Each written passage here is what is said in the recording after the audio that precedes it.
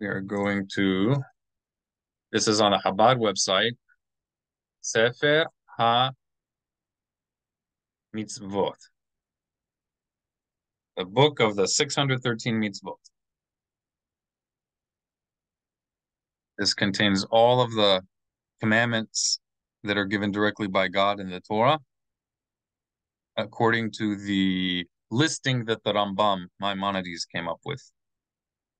So last week we read about the Shema. We're not going to read the whole thing, just the, well, it's pretty short. Let's see. Let's just read. Who would like to read this paragraph? Although prayer itself is ordained by the Torah, ex explained above, the set time for prayer are not. The sages established the time for prayer. This is also the meaning of the statement. The prayers were established to correspond to the tamid sacrifice. This means that the sage established the time of prayer to correspond to the times of sacrifices. Women are not obligated in the mitzvah. Okay, which mitzvah is it talking about when it says women are not obligated in the mitzvah? Uh, It's a trick, trick, trick question because this is after this whole section, but we didn't read the whole thing. So which mitzvah? uh, uh, while reciting the Shema. Excellent. Mamash tov. All right. So when he says women are not obligated in this mitzvah, he's not talking about prayer. He's talking about the Shema. Very good. Okay. And of course, we mentioned last last week that it is praiseworthy. It's a, a very good thing if women also say the Shema, but a principle, a general rule for men and women is that while it is good that we voluntarily do mitzvot, even when we are not obligated to do them, but we should only do extra mitzvot that we're not obligated to do if we are already taking care of the obligations of the mitzvot that we are supposed to do. Right? There's a difference.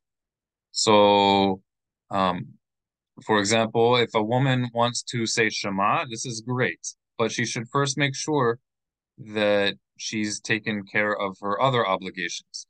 So if she needed to go to the mikveh, if she counted her her days of counting the monthly cycle and she has not gone to the mikveh yet, she should make sure she went to the mikvah before she starts doing voluntary things afterwards. Right? It's just an example. Who can tell us what tamid means? Tamid. It says corresponds to the tamid sacrifices.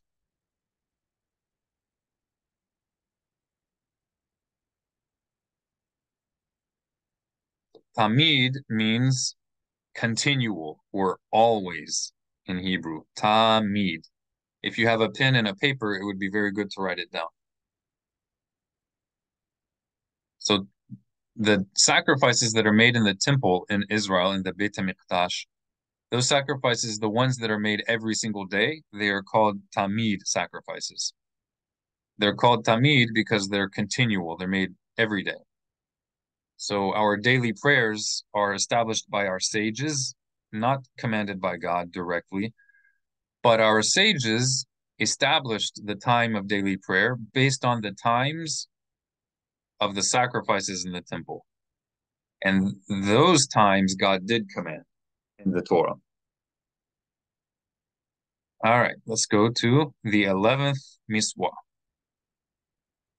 Any volunteer for the 11th Mitzvah?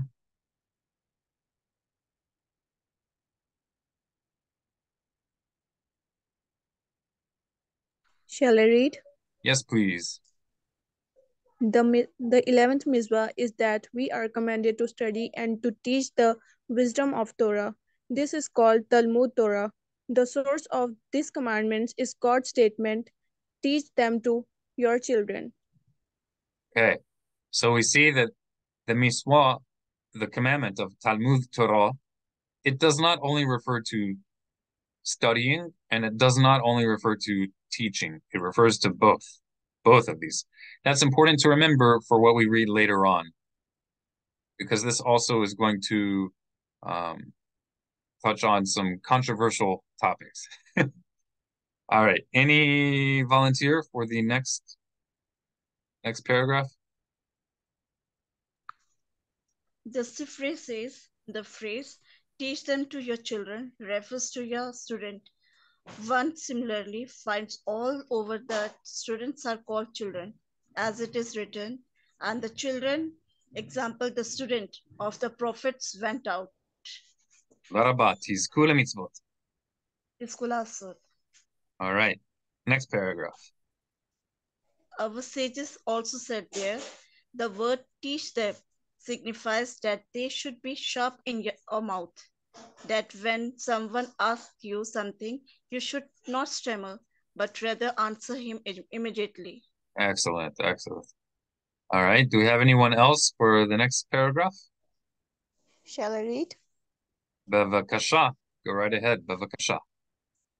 This commandment is repeated numerous times. Learn them, do, do them, so that you will learn them. The commandment is stressed and encouraged in various passages spread throughout the Talmud. Excellent. And the last paragraph, anyone else want to read the last paragraph? Shall I? B'chavod, go right ahead, b'chavod. Women are ex exempt from the commandment since the verse says, teach Teach your sons. Our sages explain the obligation applies to teaching your sons and not to your daughters, as explained in Tractate uh, Kiddushin. All right, Tractate Kiddushin, Tractate. Um, okay, so does anybody have any questions? I'm expecting some questions. so it means there is no value for daughters. No. if if we were misogynistic, then we could easily come to that conclusion. If we ignore, if we ignore everything else that's written in the Torah, and it's always a mistake when we take a verse from the Torah and try to understand it while ignoring everything else. So anytime we read something in the Torah, anything, especially if it's something that looks controversial or bad, we need to ask ourselves how can I understand this passage in a way that is in harmony, that is consistent, that's consistent and harmony with the rest of the Torah? So, anybody have any suggestions? Uh, if daughter learns, after that she become a mother mother can teach uh, her children, even boy or girl. So Correct. it is necessary to learn a girl also. I'm with you.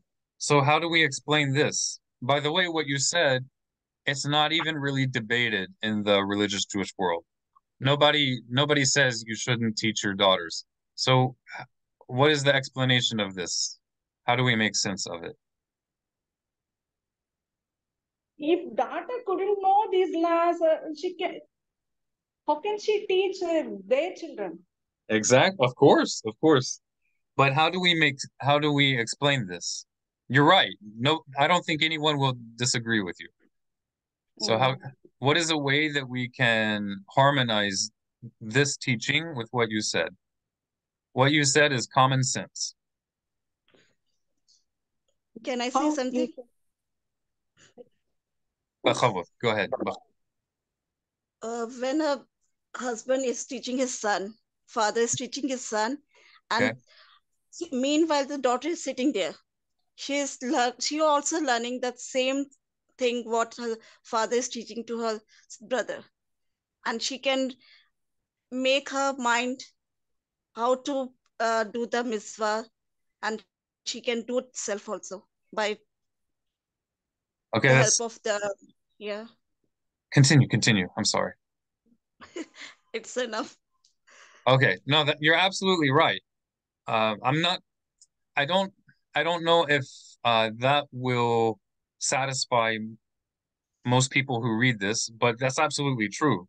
If if a woman, whether it's a daughter or a wife, if a woman is if a female is around men who are serious about learning Torah, then for sure the husband and the wife, I'm sorry, then for sure the wife and the daughter are also going to learn things because they will hear the father teaching the son. But again, I don't think that will make most people um, appreciate what is written here. I'm trying to see how can we understand this in a way that makes sense, in a way that people would appreciate. Because at face value, the like if we read it sim simply, it doesn't look very good. okay, so I'll give a suggestion. Uh, we we got a, a, a new person. Heather Hicks, welcome, welcome. All right, so I'm going to give you guys a suggestion. So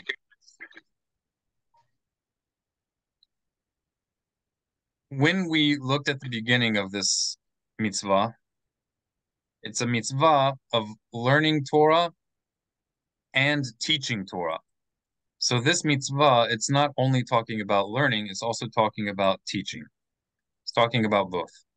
So when we say Talmud Torah, we're talking about both concepts. All right, that's number one. Number two, and this is very important to remember, when we're learning Sefer HaMitzvot, Sefer HaMitzvot, it's the list of the 613 commandments. We need to remember that each of these commandments in Sefer Mitzvot, the Rambam is only giving us a summary. He expects that we will learn the whole thing, but each each mitzvah here is only a summary. It's not giving us all the details. So he's assuming that you will fill in the gaps by continuing to learn. So I can tell you as someone who has already read the entire Sefer Mitzvot and have read all of the Mishneh Torah, I can tell you that the Rambam, when he writes this, he's definitely not saying that women should not learn. And he's not saying women should not teach. So the concepts of teaching and learning, those concepts uh, in general, it's not the same as this specific mitzvah. This specific mitzvah is talking about the combination of both and the combination of both teaching and studying the entire Torah, the entire Torah. Whereas women and daughters are not obligated, they're not obligated to teach and learn the entire Torah. They are absolutely obligated to learn and teach the parts of Torah that apply to them.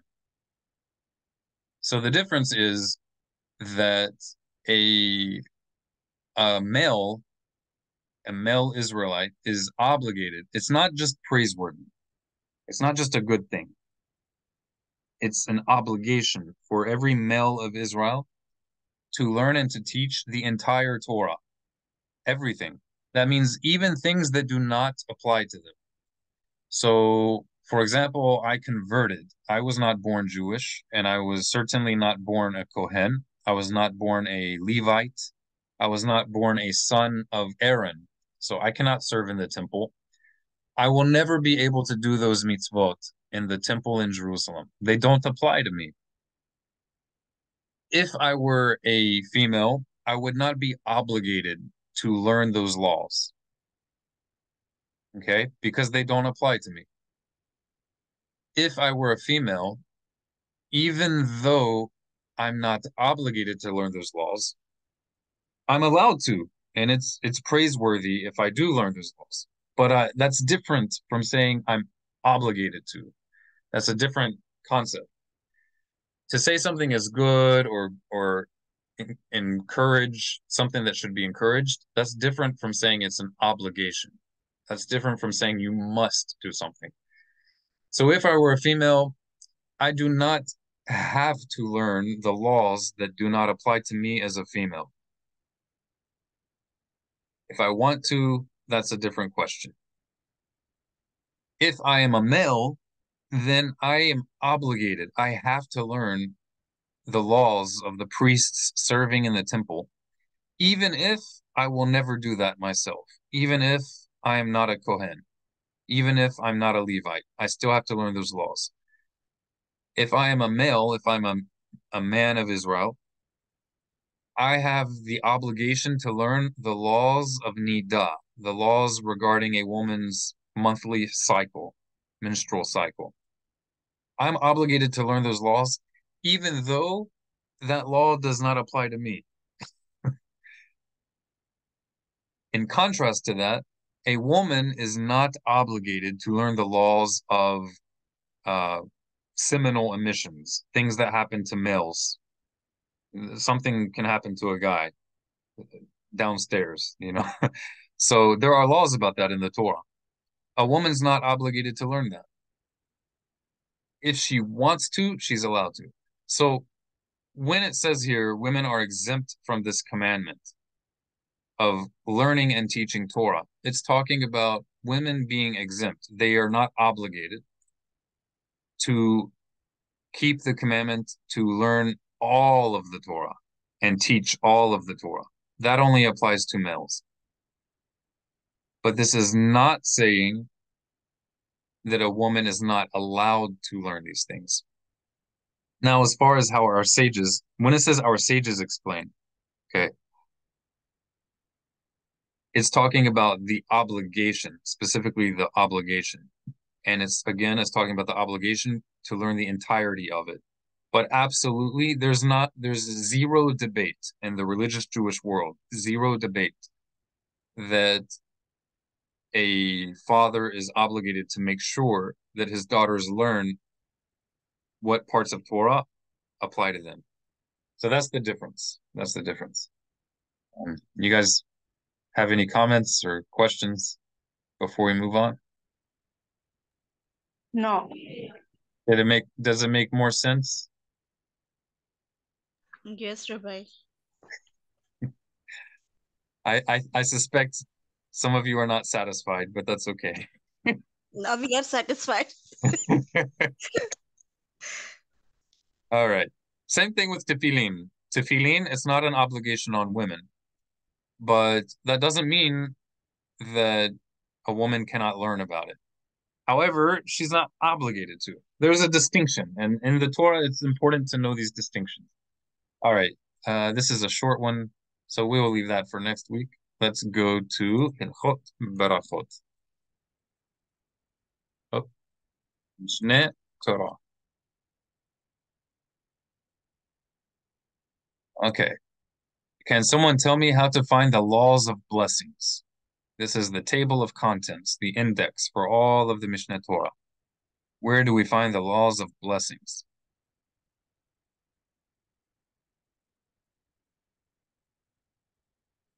We're going to find it in the second book of Mishneh Torah called the Book of Love, Sefer Ahava.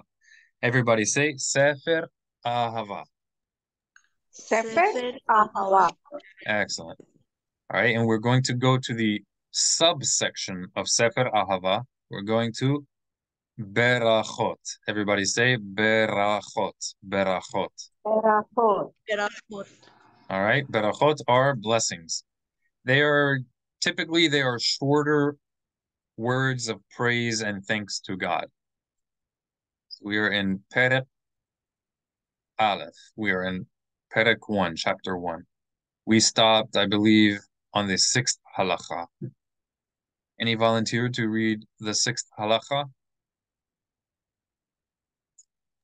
Oh, you know, you know what? Before we continue, if you don't mind, I apologize for this before we continue. Can someone summarize what we said about the the mitzvah of teaching Torah?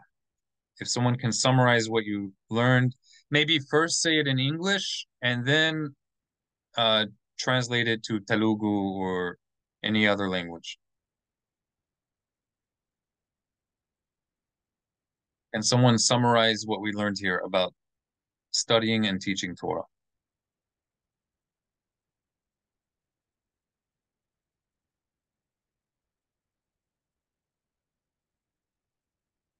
Okay, I will choose somebody. Mm. Sipora, Yes. could you summarize for us what what you understood from this mitzvah, the 11th mitzvah of studying and teaching Torah? Uh, summarize in your own words, in, in English, first in English. Uh, Don't be afraid. We can always we can always edit the video. Uh, no obligation for the woman. What what what is a woman not obligated to do? Uh, to do the shama, some mitzvahs. Okay. So like learning And learning and teaching Torah, a woman is not obligated to. Does that mean she's not obligated to learn her own obligations from the Torah? Or does it mean she's not obligated to learn everything? by own she can learn, and uh, um, by the Talmud uh, she can't teach. Okay. But with regard to the mitzvot, does Uh, does this mean she cannot learn at all, or only that she doesn't have to learn everything? she can have to learn everything. Okay, she doesn't have to. She's not uh-huh. required to learn everything, right? Uh, by one. Correct. But if she mm. wants to, she can. It's a mitzvah. She she has reward if she wants to learn more than what she's obligated in. If a woman wants to learn more than her obligations, it's praiseworthy. It's a good thing. But we need mm. to make a difference between praiseworthy and obligated. Those are two different things. Yes? Yes. Okay. Um, is a woman obligated to learn what she's obligated to do from the Torah? The Shema? Not only the. Shema, in in general, Uh, in general. uh, Is a uh, female putting is a female obligated? Is a female required to learn what she's required to do from the Torah? Yeah, yeah, that's a, the question is uh, yes or no question. Um, is a female, is a woman obligated to learn from the Torah what her requirements are Yes, she- Yeah. yes, she can uh, is obligated because she, uh, she have to know the mitzvot what she have to apply for her own. Correct, correct. So when this mitzvah says a woman is not obligated to learn Torah or teach it, it's talking about all of Torah. A woman's not obligated to learn everything in Torah. But but this mitzvah is not saying she is not obligated to learn her own obligations. She is. She is obligated to learn her own obligations. But she's not obligated to learn the obligations of the priests serving in the temple, for example. putting tefillin. Correct, correct. For example, she can learn about tefillin, but she's not obligated to learn about tefillin. Oh, Okay, yes. Yeah. but And more, go ahead. and the, what the king have to apply the uh, mitzvah, she is not obligated to learn about them also. Exactly. A woman is not obligated to learn about the laws of kings and wars. There's a lot of laws in Jewish law about wars, how to fight a war. A woman is not required to know those laws. Um, if she wants to, she can. But she should first make sure she knows her own obligations first. But the number one thing we should not forget here is that even though it says a woman's not obligated to learn Torah and teach it, that's only talking about obligation to teach all of the Torah. It does not mean that a woman should not learn her own obligations, right? So those are two different concepts. A woman should learn her own obligations. Okay, can someone translate uh summarize this and translate it to Telugu or Tamil or Hindi? Just in your own No, words. No Telugu people. No Telugu people. Are you serious? Uh, yeah, uh, uh-huh. Some are there. My sisters, uh, they are uh, near for me. Okay. They are in my house. Uh, so you don't you don't want to translate it to Uh, Okay, no problem. to Telugu. Mm. No problem. Does anyone want to translate it to any other language? Just in your own words, you can summarize. Yes, Rabbi.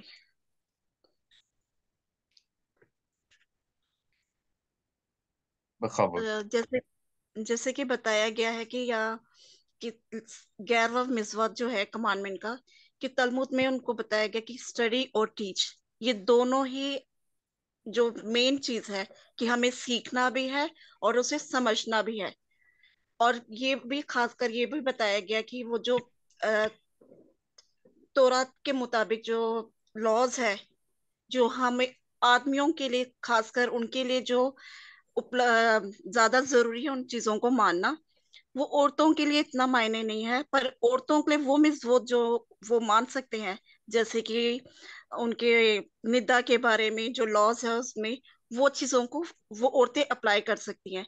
पर अगर वो चाहते हैं कि कुछ और knowledge लेने के लिए तो रात के मुताबिक तो वो ले सकते हैं। वो प्रेसवर्दी हो हो सकता है उनके लिए कि वो उन चीज़ों को जान, उन चीज़ों के बारे में जानकारी रखती है। पर खास तौर से ये जो आ, हुक्म है वो खास तौर से आदमियों के लिए है कि वो अपने बच्चों को अपने बेटों को जहन नशी कराए वो अपने बच्चों बेटों के दिमाग दिल और उनको हाशिम के बारे में उन लॉज के बारे में वो बताए अपने बच्चों बेटों को. इसको last All right. Now let's go to the laws of blessings. Everybody say berachot. Berachot. Berachot. Okay, that is a blessing. Um, Sipora, would you like to read the first halacha? Halacha 6 of chapter 1. Okay. All the blessings may be recited in any language provided one recites. A translation of the text um, ordained by the sages. A person who changes the text fulfills his obligation none, what is that? Nonetheless. Nonetheless, it means anyway, or even though. Even though he changed the text, nonetheless. Since the uh, mentions God's name. కాదు. his sovereignty, sovereignty, Saura, what is that? Okay, so sovereignty, the G is going to be silent. They don't pronounce it. Sovereignty. It's from a Latin word. Uh, so, sovre, sover has to do with like being above everything, and ren has to do with being like a king or having lordship, being master. So sovereignty means the fact that God is the king over everything. Sovereignty. hmm And the subject of the blessing, although he did so in a ordinary language. Okay, so we can say these blessings that our sages, Hazal, instituted, established, we can say these blessings in any language. Even though we should try to translate it as accurately as we can, but you do not have to worry about making a little mistake in the translation as long as you mention that God is Hashem, the eternal, the highest existence, the most absolute existence. As long as you mention that, you mention that he is king over everything, king of the universe, king of all existence, and you mention the subject of the blessing, then you fulfill the obligation, even if the translation is not perfect. Okay? Can someone translate this to any local language?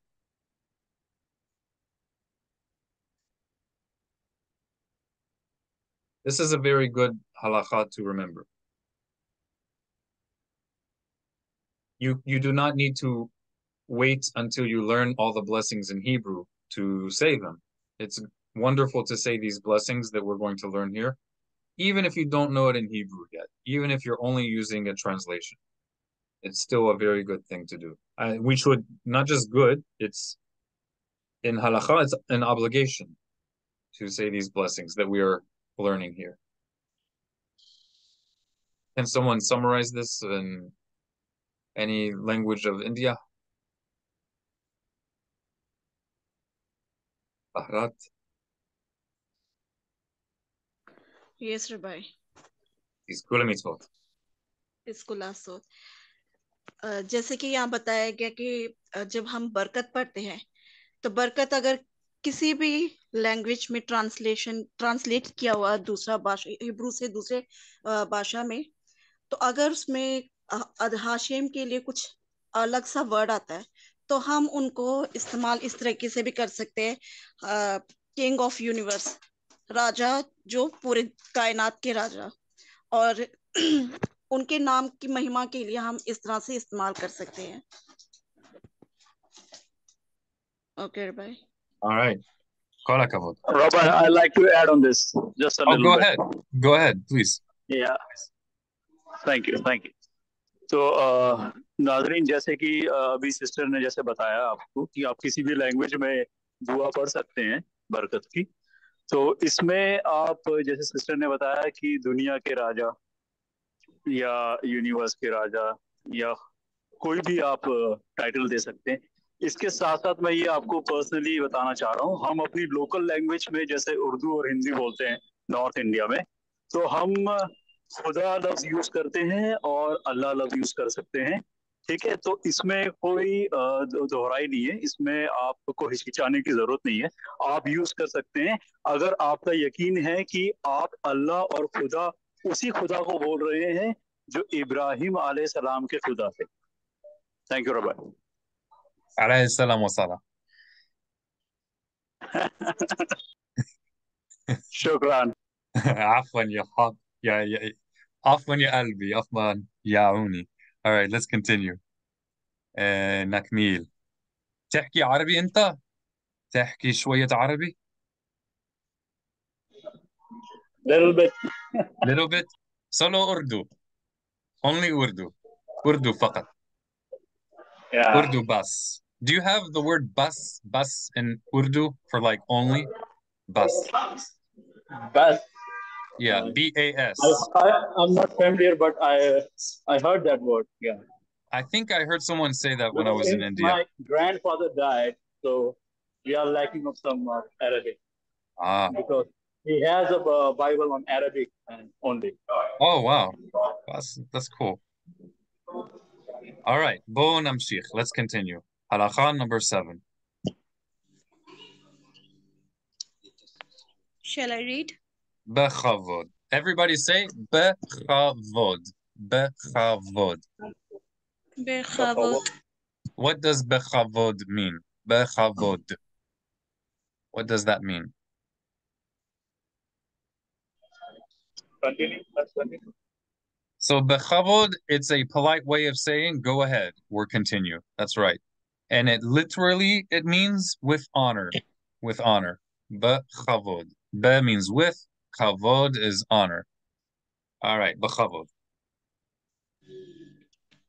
A person, a person should recite all the blessings loud enough for him to hear what he is saying. Nevertheless, a person who does not recite a blessing out loud fulfill his obligation whether he is verbalized the blessing or merely recite it is it in his heart. Okay. So the halacha is lechatchila, in the proper way that we do it, the way we're supposed to do it, we should say all these blessings loud enough that we can hear it in our own ears. All right? So we should not mumble the blessings so quietly that we cannot even hear it. We we should be able to hear it. And that way, people who are near us, they can also say Amen if they want to. However, if you, for some reason, you said it so quietly you cannot hear it, even if you don't say it at all, you only say it in your heart. According to the Mishneh Torah, the Rambam, you still fulfill your obligation. You still, you still did the obligation, even though that would be b'di'avad. That's after the fact. Can someone give me an example of a situation where maybe it makes sense, it's logical to say the blessing silently in your heart, even though in an ideal situation we would say it out loud? What's an example?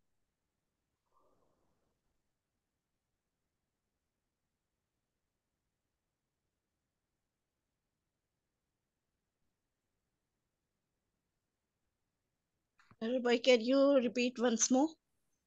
Yes. Um, we are not supposed to say these blessings silently. We're supposed to say the blessings loud enough that we can hear it with our own ear. But if we say it silently, if we say any of the blessings in Judaism silently, we still fulfill our obligation. You still did the obligation, even if you said it silently. But the correct way to do it is to say it loud enough that you can hear it. Now, now I'm asking, is there a situation in life where maybe it makes sense, it's logical to say it silently? What's a situation that it, it would probably be a good thing to say it silently? So Christmas and you're following a Jewish tradition to eat in a Chinese restaurant on Christian on Christmas Day. Don't want people to know that you're Jewish, so you don't say the. Oh my god. that that's definitely an example. Yeah, could definitely be an example. I think that got started because it used to be the only restaurant in America open on Christmas Day, yes, but now that's right. That's right. Um, and probably any situation where it would make sense to say the blessing silently. Those situations are not ideal situations. They're not the best situations. Can someone give another example of maybe a situation where it is logical to say the blessing silently, even though normally we should say it loud enough to hear it? What's another situation, circumstance, scenario? Any other suggestions? Hospital? Maybe. When? I, I could not hear. Hospital. Hospital? Yeah.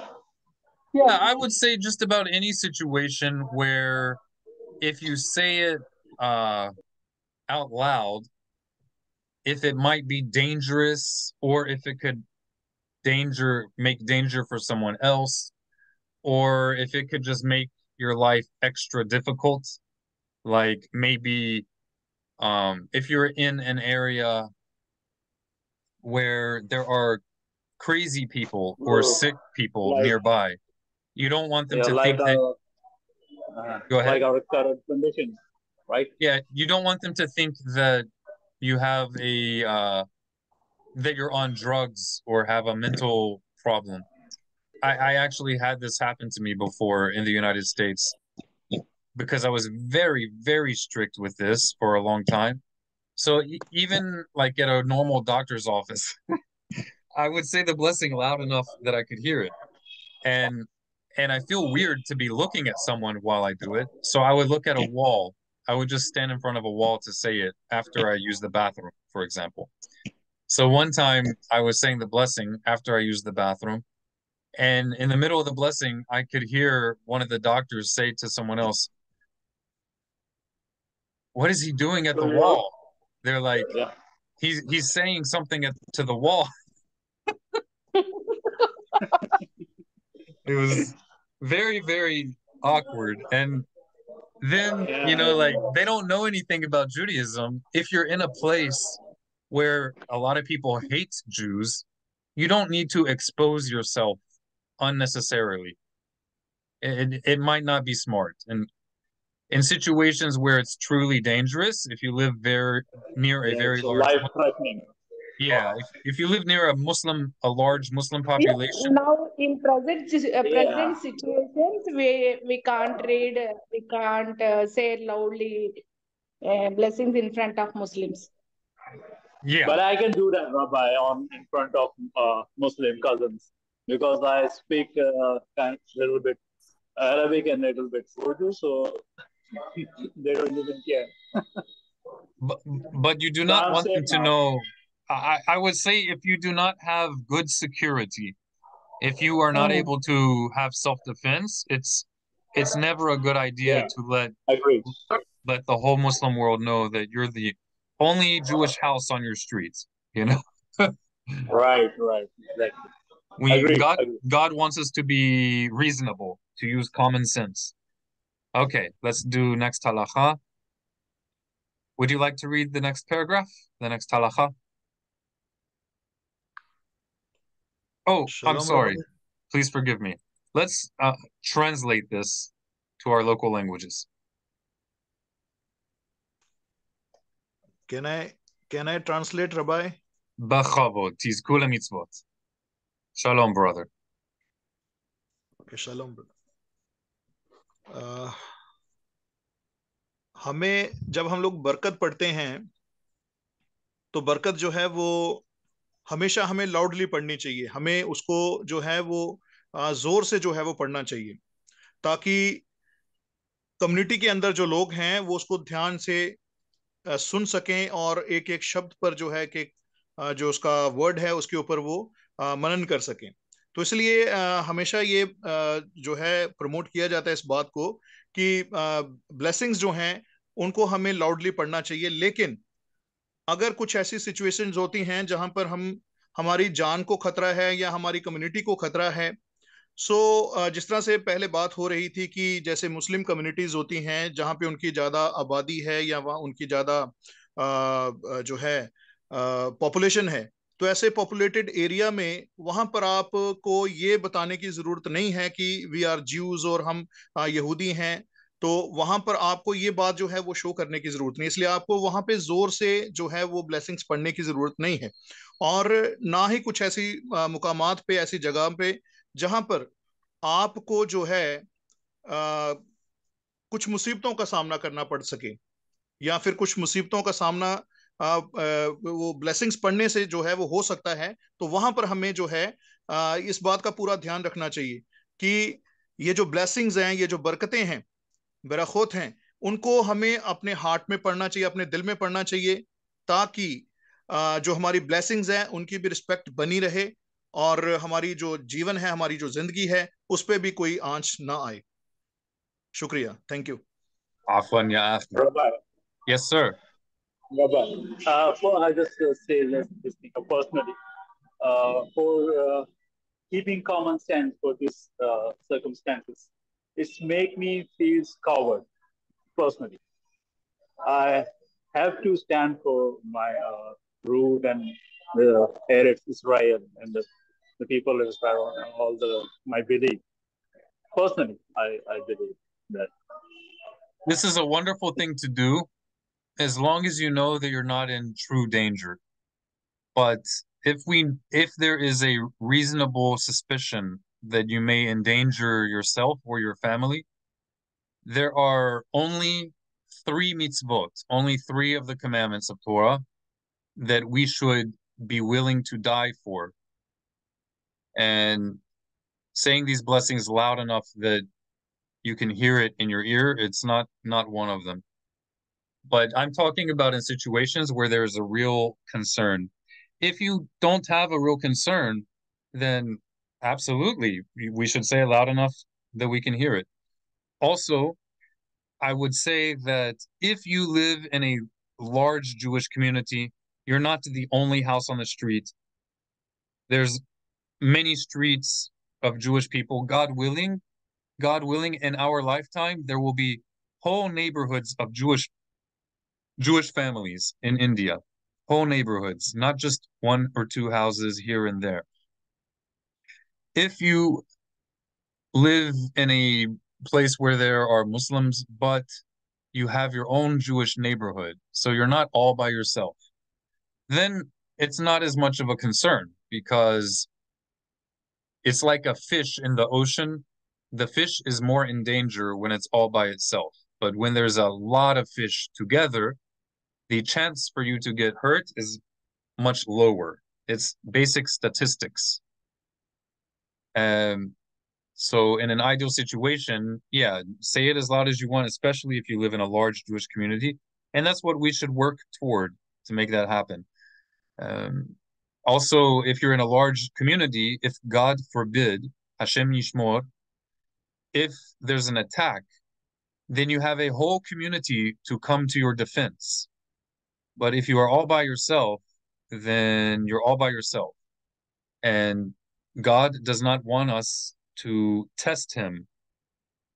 We can only test God with with uh, honoring our parents and living a healthy life and and with sadaqah. But when it comes to dangerous things, we're not supposed to expect or demand a miracle. Um, God can do miracles, but we are not supposed to say, for example, that I have heart disease, so I don't go to the doctor because God will save me. God never promised us that he will save us miraculously in every single difficult situation. It, it's just not not reality. God, we should rely on a miracle when we have no other choice. But generally speaking, we need to be we need to be we need to be smart. So we just be follow only the three laws. Say it again. I could not hear you. In that situation, right? I, I couldn't hear you. Say it again, please. So we have to follow only three laws. For in that condition, uh, yes. Yes, if you are in a life-threatening situation, there are only three laws that we should risk being killed instead of breaking those laws. Does anyone know what those three laws are? Yeah, of course I do. Go ahead, please share it with us denying God and murder someone and raping someone. Okay, so I'm going to say it a little more loudly. So the three mitzvot that we should never break, even if it risks death, even if it means we might be in danger of death, that is, we should not worship anything other than the one true creator. So we should not worship anything that is created. No idol, no human. We should not murder someone. That means we should not kill someone in an unjust manner. And we should not have intercourse with someone that God forbade us from having intercourse with, whether that's rape or adultery, anything like that. So if someone puts a gun to our head and says, you must, God forbid, you must rape this person or I will kill you, we should be willing to die instead of raping someone.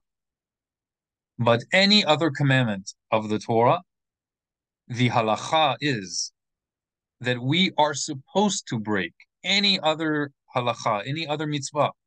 God wants us to break it according to Jewish tradition, God wants us to break that mitzvah temporarily in order to save our life. And of course, there are different details and nuances to this, but this is the general rule. And if a person is ever in that situation, God forbid, if we are in that situation and your fear is so great that you you break the commandments, even if you worshipped an idol, but you were forced to do it, you are not punished. There is no punishment in Jewish law if you do these things because you were forced to do it. We're not supposed to do it, but if you did it anyway, there is no penalty. You don't get a death penalty. You don't get karet. Anybody have any questions about this? Shukran, Rabbi. Jazak Allahu khairan. Jazak Allahu. I, wow, my Arabic is getting bad. Jazak Allahu bkhair. Jazak Allahu bkhair. Hello, shukran. Shukran, Rabbi. Afwan. All right. Um, if anyone wants to translate again to your native language, I think we did Hindi or Urdu. Does anybody want to summarize what we've just discussed about the blessings or the mitzvot, the three mitzvot? Okay, we'll continue. Um, Brother Yosef, Ataitano, you with us? Shalom, Rabbi. Yes, yes, I'm be with you. Okay, it's the honor is mine. Would you mind also translating this part? Because this is pretty important. I think we had someone translated maybe to Tamil or Telugu, but it would be useful to have it also in Hindi. Let let me let me read, uh, Rabbi.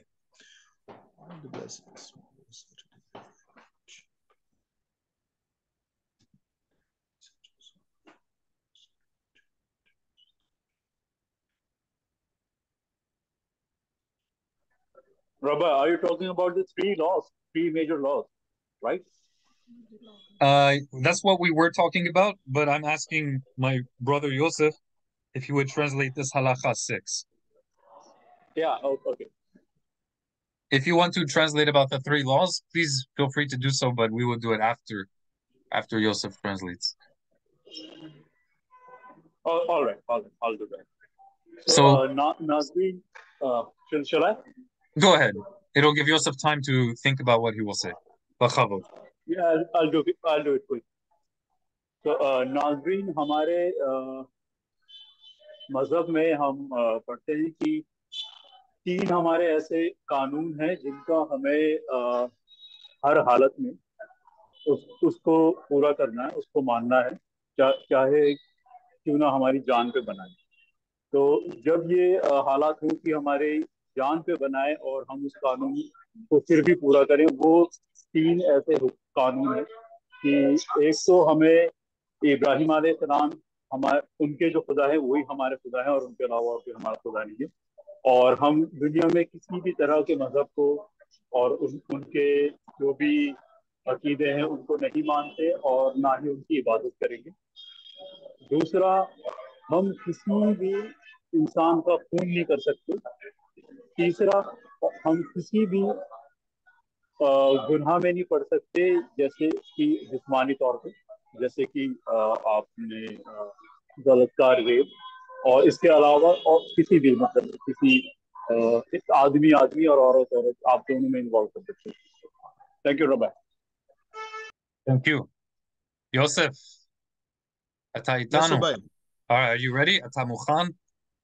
Ata can. Yalla, bachavod. अ, अ, हम लोग जो हमारी बरकतें हैं उनको किसी भी ज़ुबान में पढ़ सकते हैं लेकिन हमें इस बात का ध्यान रखना चाहिए कि जो हमारे सेजस ने जो हमारे बुज़ुर्ग हैं जो कौम के बुज़ुर्ग हैं उन्होंने जो टेक्स्ट जो हैं वो लिखे हुए हैं या उनको जो उन्होंने जो है वो हमें दिए हुए हैं तो हमें इस बात का ख्याल रखना चाहिए कि उसमें कुछ बातों की ऑब्लिगेशन जो है वो उनको हमें मानना है। मसलन जैसे खुदा का नाम जो है, हाशिम का जो नाम है उसकी इज़्ज़त के लिए और उसकी जो है बड़ाई के लिए जो है, हमें जो है वो किसी भी ऐसे शब्द का इस्तेमाल नहीं करना चाहिए। जो खुदा की इज़्ज़त यानी हाशिम की इज़्ज़त में जो है वो फ़र्क डाले। तो दूसरा जो है कि जो ब्लेसिंग का जो सब्जेक्ट है, ब्लेसिंग का जो जिसको हम कहेंगे कि मजमून है, वो मजमून जो है उसमें किसी तरह का फेरबदल ना हो। और हालाँकि हम उसको किसी भी दूसरी जबान में भी उसको पढ़ सकते हैं, लेकिन वो अल्फाज जो हैं वो बदलने नहीं चाहिए। और खुदा की जो तारीफ़ वाले जो अल्फाज हैं उनमें किसी भी तरह का कोई गड़बड़ ना हो अ, इन बातों का ख्याल रखते हुए हम अ, जो है बरकतों को किसी भी जबान में पढ़ सकते हैं शुक्रिया तोदा. Okay. Um, do we have any volunteers to read Halacha 8, Halacha Het? Let's get a lady. Any lady want to read halakha het, the eighth halakha. Whenever one recite a blessing, one should not make any interruption between the blessing and the subject for which the blessing is recited. If one makes an interruption with other matters, one must recite the blessing again. All right. Who would like to continue? Toda. Thank you very much. Mitzvot. Iskulaso. If, however, one makes an interruption which relates to the subject of the blessing, one does not have to repent, repeat the blessing. What is implied when a, when a person recite a blessing over bread and before eating says, bring salt, bring food. Rabbi, please move it Tell me where to move. Up or down or like up, upward. like this? No, no, This the way? down portion. Yeah. Okay. blessing over bread and before eating says, Bring salt, bring food, give so and so to eat, bring food for the animal, or the like he needs to not to repeat the blessing. Okay. So long story short, if you say any blessing, we should not make an interruption between saying the blessing and doing what the blessing is about. So if I gave a blessing, if I said blessings of praise to God, I told God, thank you for creating the fruit of the vine, the blessing before we drink wine or grape juice. So once I say that blessing, I should drink the grape juice. I should not have a conversation with someone and then drink. I should not then go to the bathroom and then come out and drink. Once I say the blessing, I should do what the blessing is about. However, the second part of this halakha says that if you do something after the blessing, which is related to the topic, the purpose of the blessing, then you don't need to repeat the blessing because that's not considered an interrupted interruption. It's related to the purpose of the blessing. So, for example, if you said the blessing over wine or grape juice, Bore Periha Gofen, blessed are you, O Lord, creator of the fruit of the vine. If I said that, but then I did not drink the wine, I asked, please pour wine for my wife. Please pour wine for my husband. That's okay because it's related to the purpose of the blessing. But that's all you should say. You should not then have a whole conversation. Once they bring the wine, then everybody should drink. For example. Can someone give another example?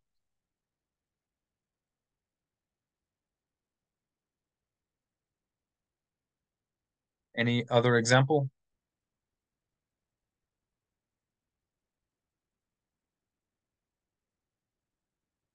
If you say the blessing over bread on Shabbat, Hamotzi lehem min haaretz. Blessed are you, O Hashem, who brings forth bread from the earth. So we should not talk between saying Hamotzi lehem and eating the bread. Once you say the blessing, after that you should eat the bread immediately. But it's okay to make an interruption after that blessing if you need to tell someone, please pass me a piece of bread. Or, like it says here, could you bring me some salt? Or maybe some kind of curry uh, that you want to eat with the bread. That's all acceptable. Can someone summarize this for us?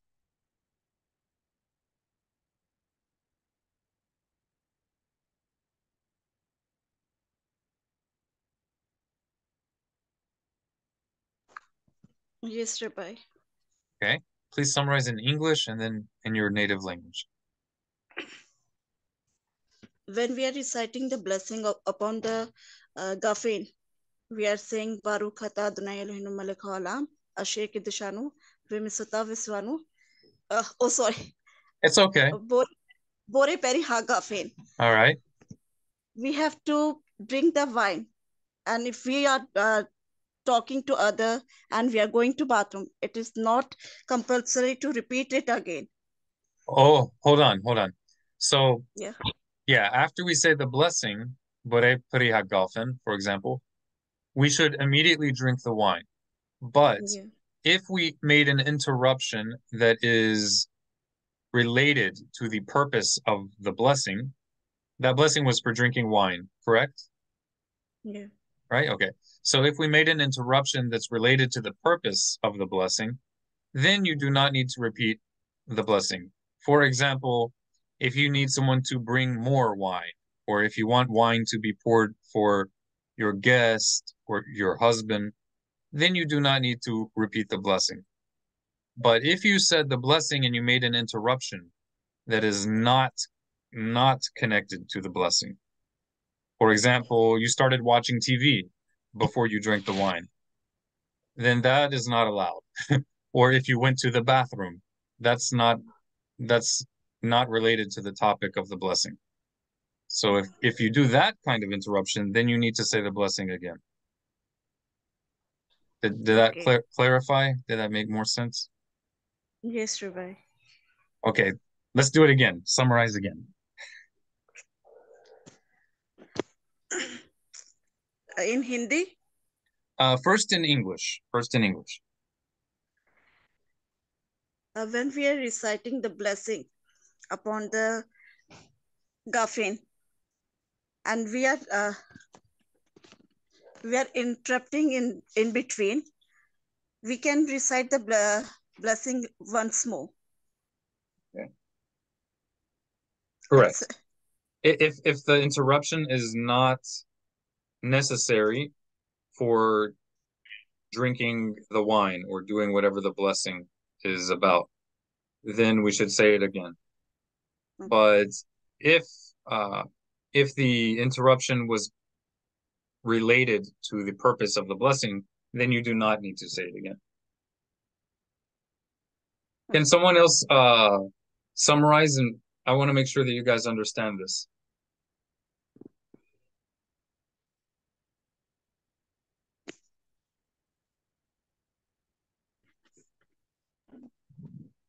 Shalom. Basically, uh, what you do is when you, before you recite the blessing, example, Baruch atah melech haolam, shechol nihi baro, we must honor Hashem and do what we prayed for first, and then the others. Am I right?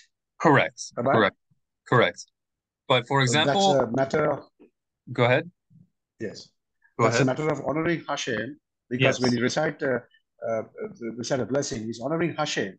We are our undivided attention should be upon that blessing, and we should not consider consider upon anything else. That's a dishonor. That's true. That's that's correct. So for example, the blessing that you gave, Shahakol Nihya Bidvoro.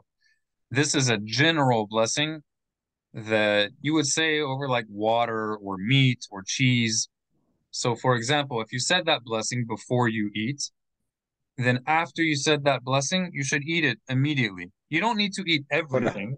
You don't have to eat Yeah. everything, but you need to take at least one bite. Ken, Now I have a question for you. If you said the blessing before food or drink, and there's different blessings, but any one, it doesn't matter which one. If you said a blessing before uh, eating or drinking, and after you said the blessing, you wanted your wife to bring more or your child to bring more food. Are you allowed to say that? Can you tell them must bring more food? No, I can't say. it.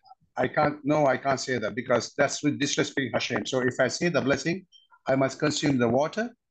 After that, I can do that. I Okay, right? so, so Example. ideally, ideally that is correct in an ideal situation.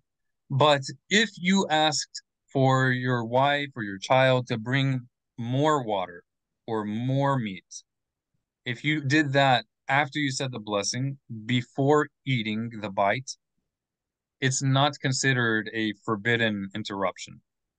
The reason is because it's related to the purpose of the blessing. Okay. It's related Uh, if, if the yeah. if the interruption is related to the purpose, the topic of the blessing, then it's not considered a forbidden interruption. But but if you said the blessing and then you started talking about what you want to do uh after Shabbat, that's not allowed. Like having a whole conversation is not allowed. Or uh, saying the blessing and then going and watching TV before you eat the food. Yeah, that's okay. Can you summarize one more time? Yeah, I, I need to have a, clarify something. Supposing I say uh, for blessing for water, I say Shechol Hiabit Baru. And if I'm eating a fruit, I say Baruch Atah Melech Olam uh, Borei right? Uh, have, have Generally, got to generally. take the water first and then the fruit, or the fruit first and the water? How does it go? Okay. So if you would say the blessing over the water, then you would take a drink of the water. You would take a sip of the water. You don't have to eat all of it or drink all of it. Just one sip.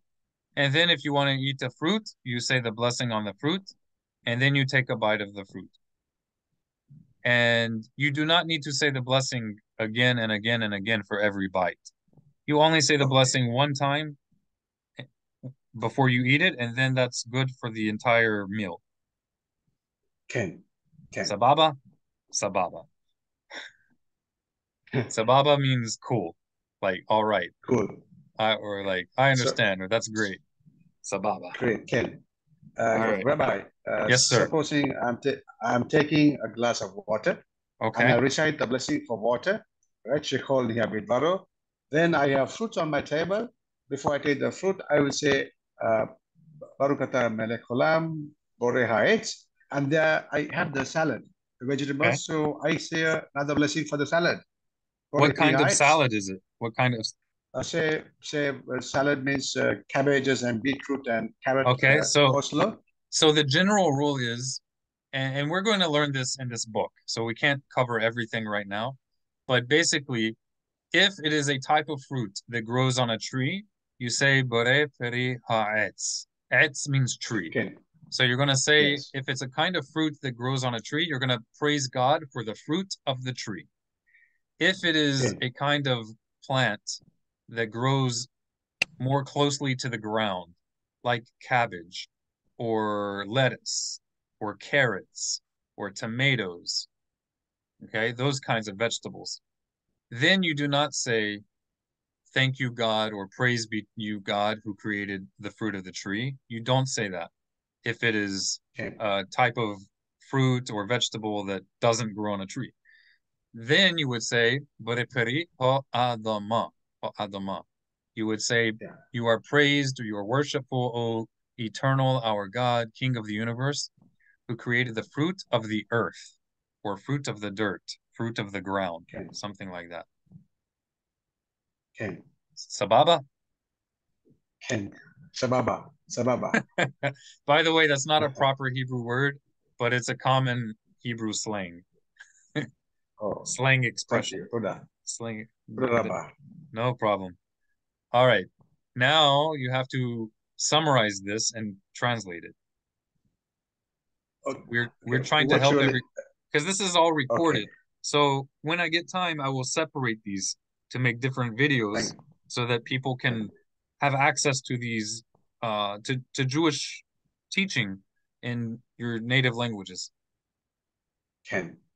So virtually, when you recite a blessing, uh, first uh, we honor Hashem and first do what we blessed for and take it, and then we can do the others. And if you if you once you said the blessings, and if you say something else, and if you're watching TV or if you uh, look at the phone, that means you have uh, violated His holiness, and we recite the blessing again. Correct. Correct. But what if the interruption was related to the topic of the blessing? Then what happens? Then, since it's related to the blessing, uh, then of course I don't have to recite the blessing again. Correct. Correct. Okay. Technically, That's that's correct. Sababa. So, all right. Go ahead and translate it. Bevakasha. So basically, whenever we take a meal, first we recite the blessing, whether it's for water, whether it's for fruit, or whether it's for vegetables. Uh, normally, what I do is uh, when I have fruits and vegetables, I say Baruch atah Adonai melech olam shechol yabit varu. So one Correct. blessing, Uh, But can you can I you can you translate it to your local language? uh, in in Sinhala. Whatever your local language is. Are you in Sri Lanka? I'm in Sri Lanka, so my local language is English. Oh, really?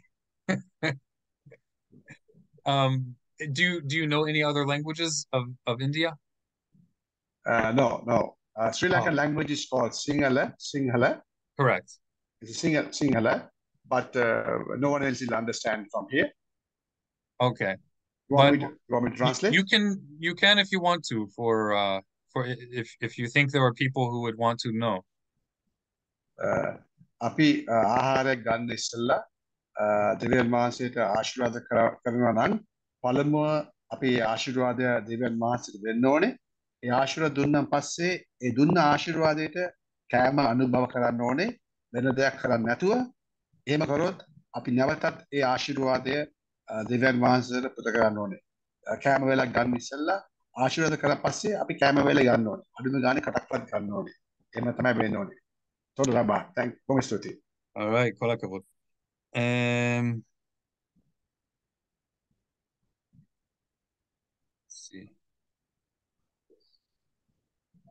Did someone else want to translate this concept?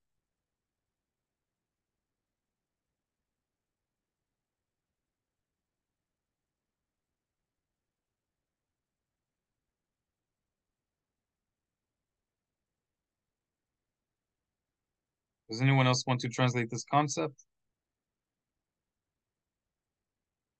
Sonia, are you still with us?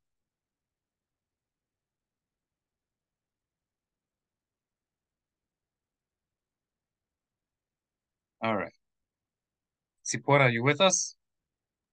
Yes, I'm listening. Okay. Did that make sense? I think we went over like five times.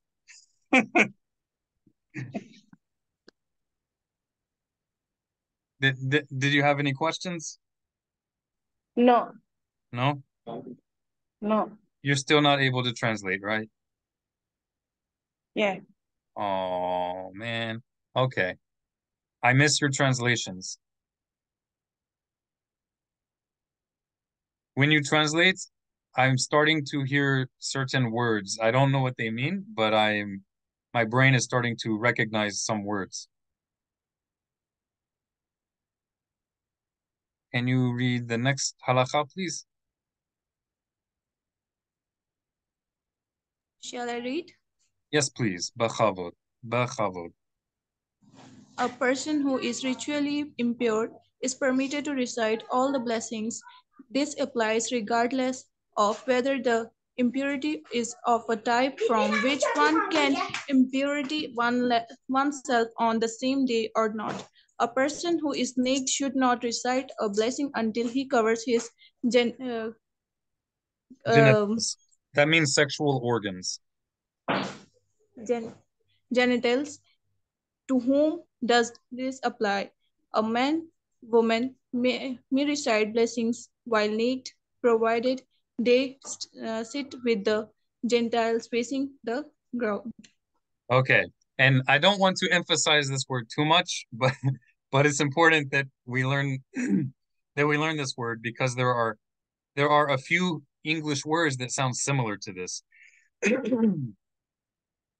okay, let me see how I can write this. Um, let's see, annotate text. Okay. So you have this word. Can you guys see what I'm typing?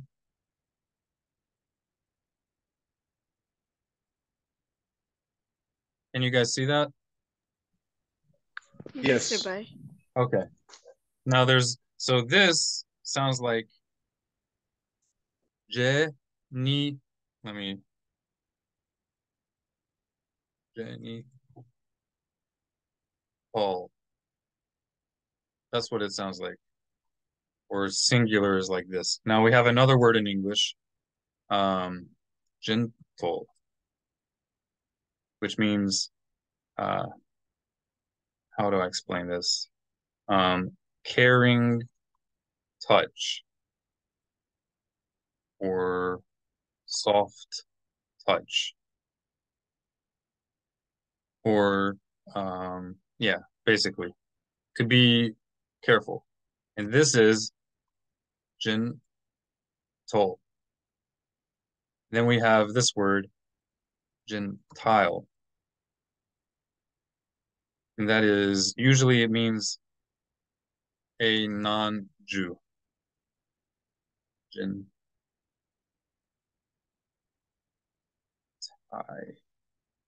I.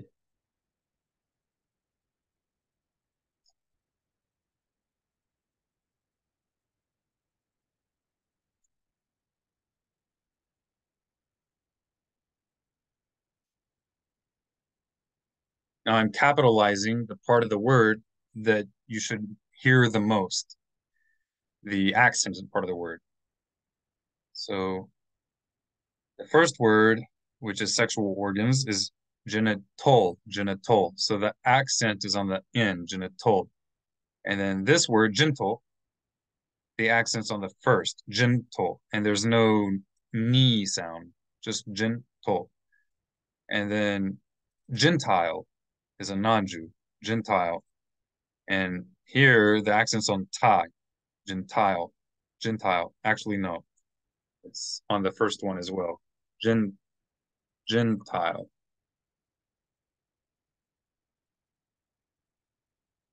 Gentile. Gentile. Okay. Uh, I hope you guys forgive me, but I think it's important to learn these things because it's always embarrassing when you're when you learn new words in a language and it sounds similar to other common words so you don't want to say the wrong trust me i learned hebrew i had mistakes like this in hebrew. It's hilarious but it's very embarrassing. So if you want you can repeat after me. Um genital is sexual i'm sorry Gen, genital is is sexual organ. Genital, genital, genital. So the middle syllable is not accented. Genital, genital. That is sexual organs. Then gentle, gentle is a soft or delicate touch. And Gentile is a non-Jew. All right. I will spare you guys the embarrassment. So I will just, this will stay in the video so you can practice if you want to improve, uh, if you want to avoid awkward situations speaking English. All right. Oh, now I don't know how to remove this. So, okay. So this halakha, oh no, how do I get rid of this? There we go.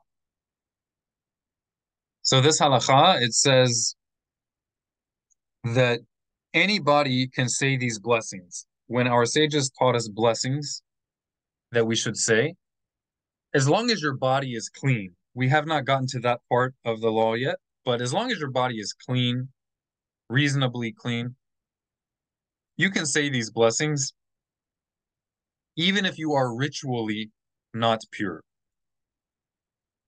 So ritual impurity, it's not the same as having dirt on you. They're two different concepts. Some kinds of dirt will make you impure, but not all types of dirt.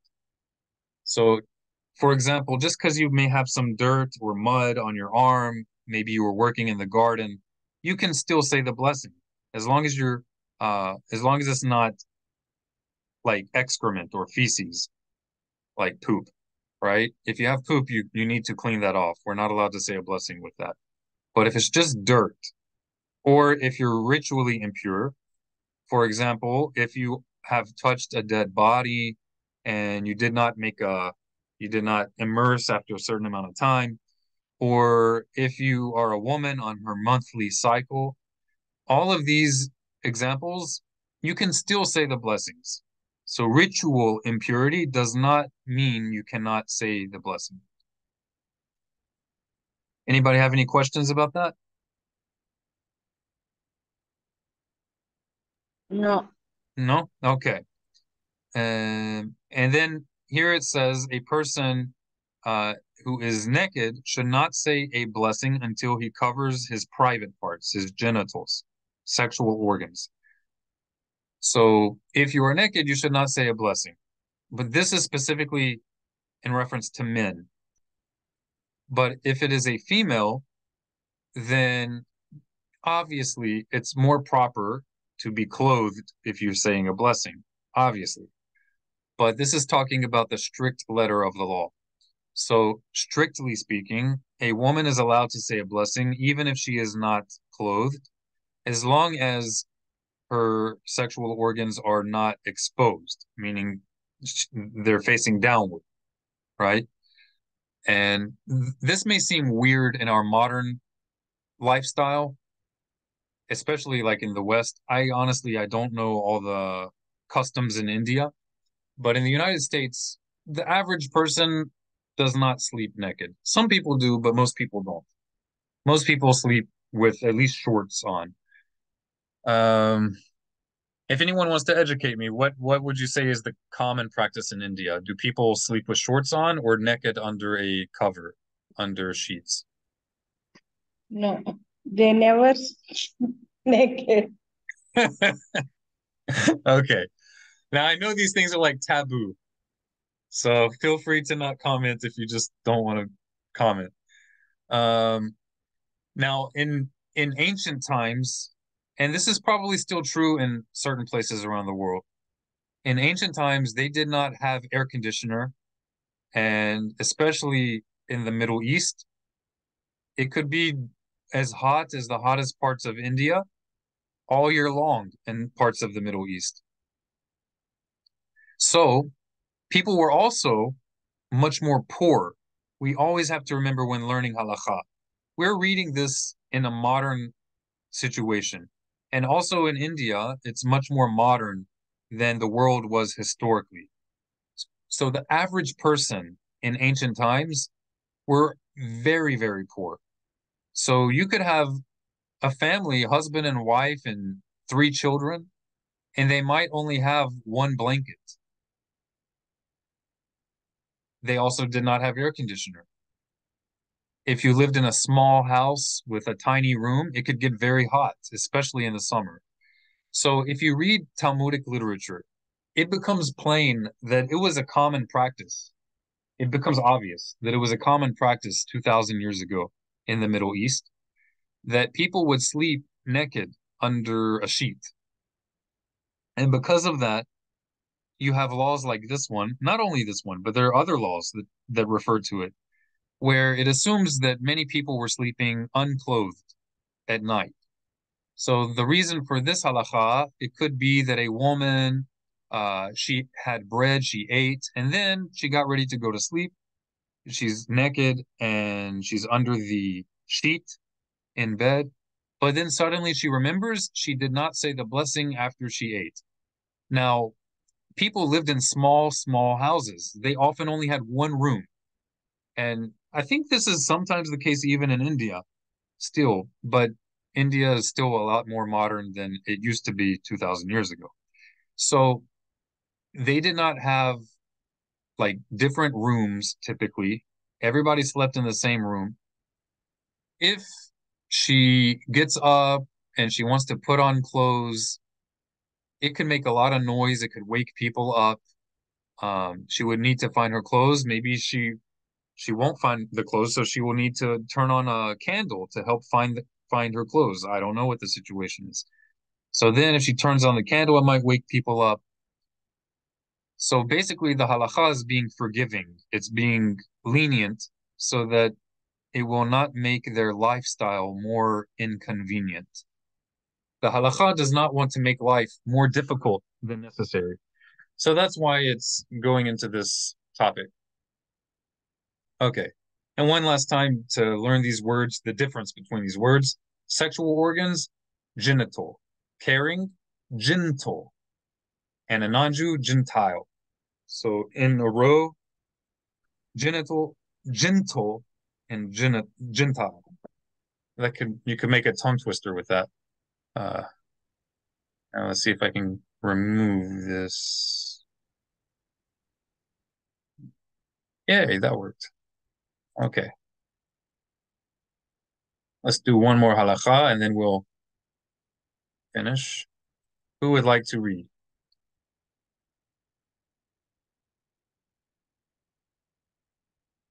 Any volunteer? Yes, Rabbi. The following principle applies to all blessing, although a person has already re recited them and fulfill his own obligation. He may recite them again for others who have not fulfilled the, their obligation so that they can fulfill their obligation. Okay. Now it's going to give us more uh, details. Um, Sipora, would you like to read the next paragraph?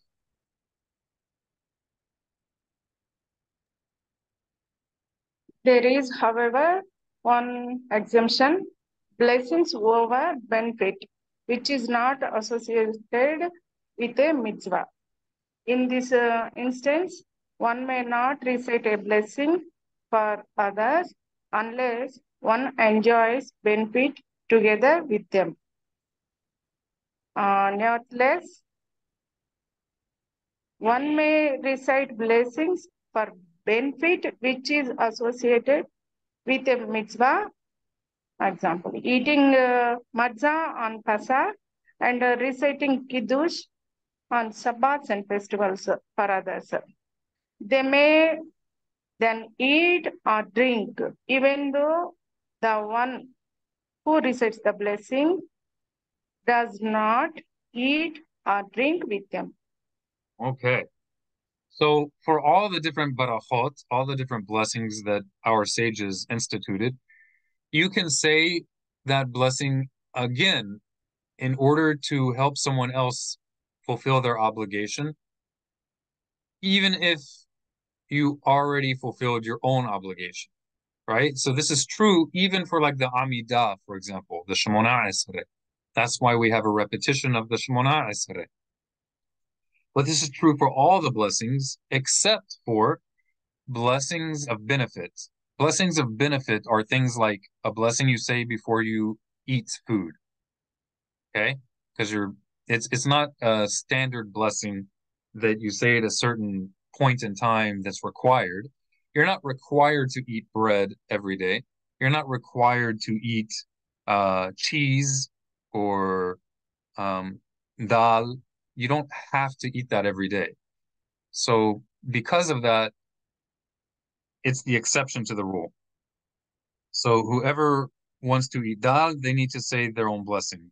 A person cannot say it for them unless they eat it together with them. But for all the other blessings that don't have to do with food or similar things, all the other blessings, you can say it even though you could say this blessing again for someone else, even though you already said it for yourself. Any questions about that?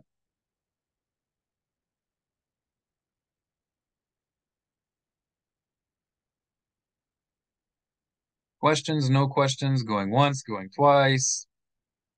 All right.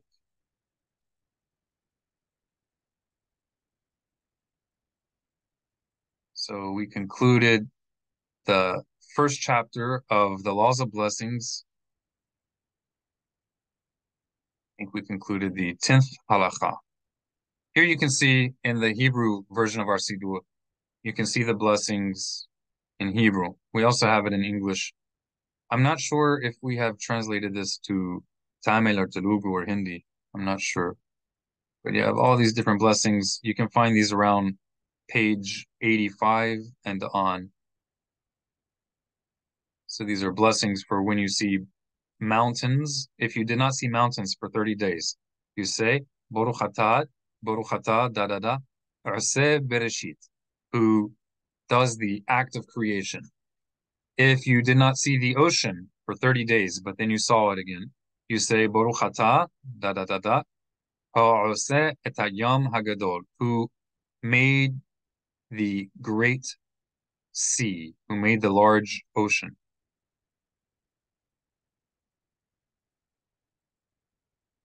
Let's go back to review what we did last week. Okay. Can you guys see me enlarging this? Yes. Okay, so this is the little verse that we say before we say the Amidah. Let's say it together. Adonai. Adonai. Sephathai. Sefatai. Tiftah. Tiftah. Tiftah. Ufi. Ufi. Ufi. Yagid. Agid. Yid. Tehila. Tehila. Techa. Tehila. Techa. Tehilatecha. Tehila. Techa. Okay. All right, Sipora, would you like to read the whole the whole line? Mm.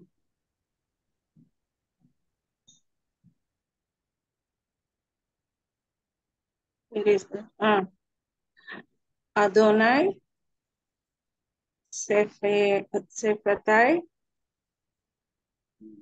uh, Tefi Adonai Sefetai Tefite Vi Tifate Ta Okay, and usually when we have this letter and the two dots under it, well, any letter, if you have any letter in Hebrew with the two dots under it, most of the time we should assume that it is silent. So instead of tifetah, just Tifata tif, instead of tifetah, we should say tiftah, tiftah, uh, tiftah. Tifta hmm Sometimes it would be a short S sound, sometimes. But most of the time, if you're not sure which one, then make it silent. Tiftah. Okay, Tiftah. tamshikhi. Tamshikhi, continue. Yagid Te no, Tehilatecha Tehilatecha. Tehilatecha Perfect. One more time. Tehilatecha. Tehilatecha Beautiful.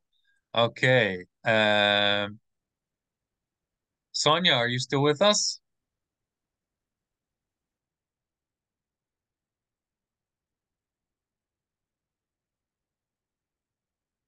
Maurice, are you with us?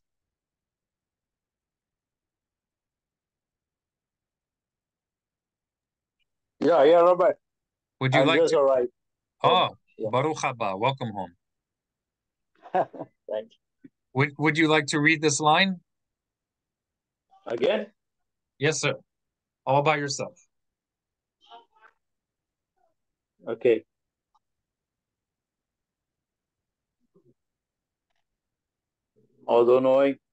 Tefatai Tiftah Ufi Yagid Tehilatecha. Beautiful, beautiful. All right, let's get one more victim. Who will be our final victim? Mohan. But still I can't read. You can or cannot? Cannot. Okay. Uh, are you willing to help us just with the first word? Adonai. You got it. Okay. You know, you, you shouldn't be lying to us on here. You read that like took you less than a second. Okay, so let's do the second word. Second word. Okay, just tell me the letter. What letter is this? Difficult. Which letter is this?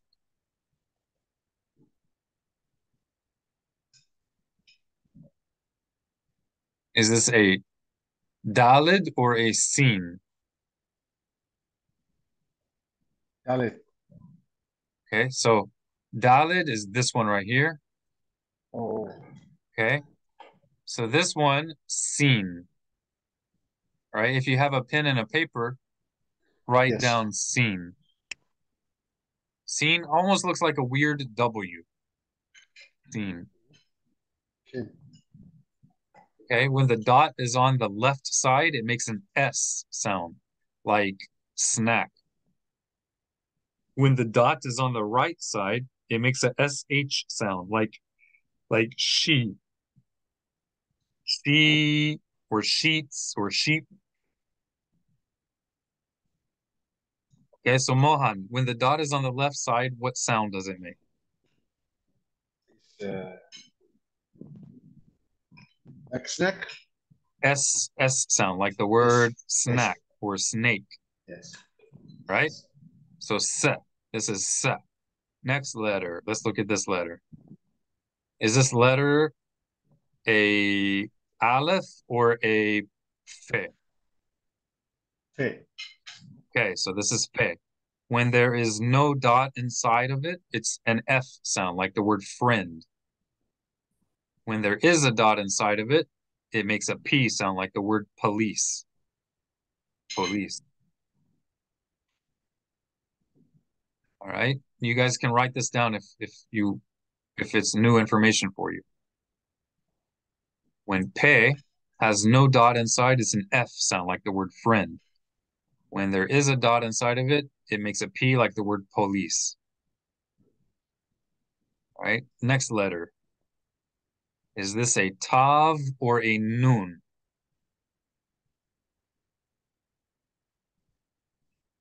Noon. Come again? It's noon. All right, so this looks like this is a noon right here. Adonoi. Adonoi. So this is the N sound, as in never. This is a noon. And then this letter is a tav. Tav. When there's no dot inside of the tav, it makes a th sound, like the word think. Think or three, one, two, three. So when there's no dot in it, it makes a th sound like three. When there is a dot in a tav, it makes a t sound like the word tree, like the word uh two, one, two. Okay. Now this letter, this is the smallest Hebrew letter. Is this a yud or a sin? Yud. Okay, you got it. Now this word is set, fa, thigh. Tefel thigh. It means my lips. All right, you guys, do you have questions about anything? I know we've not spent as much time on the Siddur as I would like, but I think we learned a lot about the Barachot. Does anybody have any questions about anything?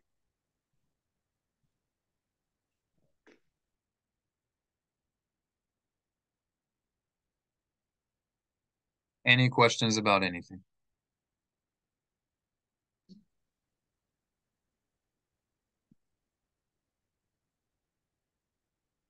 All right. Rabbi, I do have one question. All right. Go ahead. Bachavod. So, uh, personally, I start uh, my uh, afternoon prayer, minha, start with uh, Ashrei Okay. and uh, finish uh, with Hamida. That's it. Okay. So, how do you, how do you uh, do that? How do you daven? I'm going to pull it up for you right here. Afternoon, page 30. Along with the uh, posture and hand gesture. Oh, okay. I know what you're getting at there. I know what you're trying to say. Okay. This is I know uh, how to do uh, Amida, so thanks for Okay. your YouTube channel. Oh, really? Since uh, last uh, three years. Awesome. Kol hakavod. Kol hakavod. Okay. But I um, I missed the Ashrei. So how do you uh, do so Ashrei? Page 30 in the Hebrew Siddur that I can send to you guys in our group if you don't already have it. So the most important the the, the truly like the strict obligation for minha prayer it's not the ashrei it's not psalm 145 it's just the amidah. That's the strict obligation. But there is a halacha an, an ancient halacha from the gemara that before we say the amidah we recite psalm 145 psalm 145 okay? The Rambam brings that before you say Psalm 145, you say this verse before Psalm 145. But he only mentions this when praying with a minyan, when praying with 10 or more people, 10 or more men. If you're praying by yourself, you can begin just with Psalm 145. And I I say this in a kneeled position, but if you are unable to kneel or if it is so painful it distracts you, then you can just sit sit down on your rear end, not on your knees. But it's it's proper to sit when we say this because the uh the way we say it most of the time, like if we're in a minyan, we say praiseworthy are those who sit in your house. So we're sitting. And what happens is if we do all of this in the ancient manner with the ancient postures, we end up worshiping God in all the major stances with all the major postures of the body. So first we're sitting, and then when we come to the Amidah, we stand. Then when you say Baruch, right? When you say Baruch Atah, at the beginning and at the end of the first blessing of the Amidah, then you kneel onto your knees and you bow over so that your body is like an arch. You do not have to put your face to the ground, but if the ground is clean, you might as well. That's what the Rambam's son says in his book Hamaspik Le'ovdei Hashem, the son of the Rambam, Maimonides. So first we were sitting, then we stand, we say Adonai, Sapotai Tiftah, Ufi Yagid Tehillathacha. O Lord, O my master, open my lips, and my mouth shall declare your praise. And then when you say Baruch, right as you say Baruch, you kneel onto the ground, you bow over, and you stay bowed over until you say Adonai. As you begin to say Adonai, you are standing up. So you say Adonai as you stand up. I recommend saying Baruch and Atah slowly, saying it slowly. That gives you time to have intention, to focus while you're saying it. And bowing in the prayer also helps us to slow down. It is easier to uh, race through the prayers and not take it seriously, not focus and have intention. It's easier to not have intention when we're running through the prayers. But when we bow, it helps slow us down to refocus. So we kneel and bow here, then we kneel and bow at the end of the second at the end of the first blessing. Then we stand up and we remain standing all the way until we get to Modim. Modim is the next to last blessing in the Amidah. So it's where it says, We are grateful before you, for you are He, the eternal, our God. So when you say Modim, when you get to the word we are grateful, you kneel down and bow and you stay bowed down on your knees until you get to Hashem. As you say Adonai, Hashem, you're standing up again. Then at the end of this blessing, this is the next to last blessing of the Amidah. At the end of it, again you have Baruch, you kneel, and then you stand up again at Adonai. So you're standing, and then when you finish the final blessing of the Amidah, you say Baruch Atah Am et Amma Yisrael When you say Shalom, then you say amen. As you say amen, you are kneeling again. You kneel down onto the ground and you stay bowed over until you say, May the words of my mouth and the contemplation of my heart be favorable before you, O eternal, my rock and my redeemer. When you finish that, then you stand up, but you stay bowed over and you take three steps back and you give peace to your left and your right. Sipora, would you like to read this for us?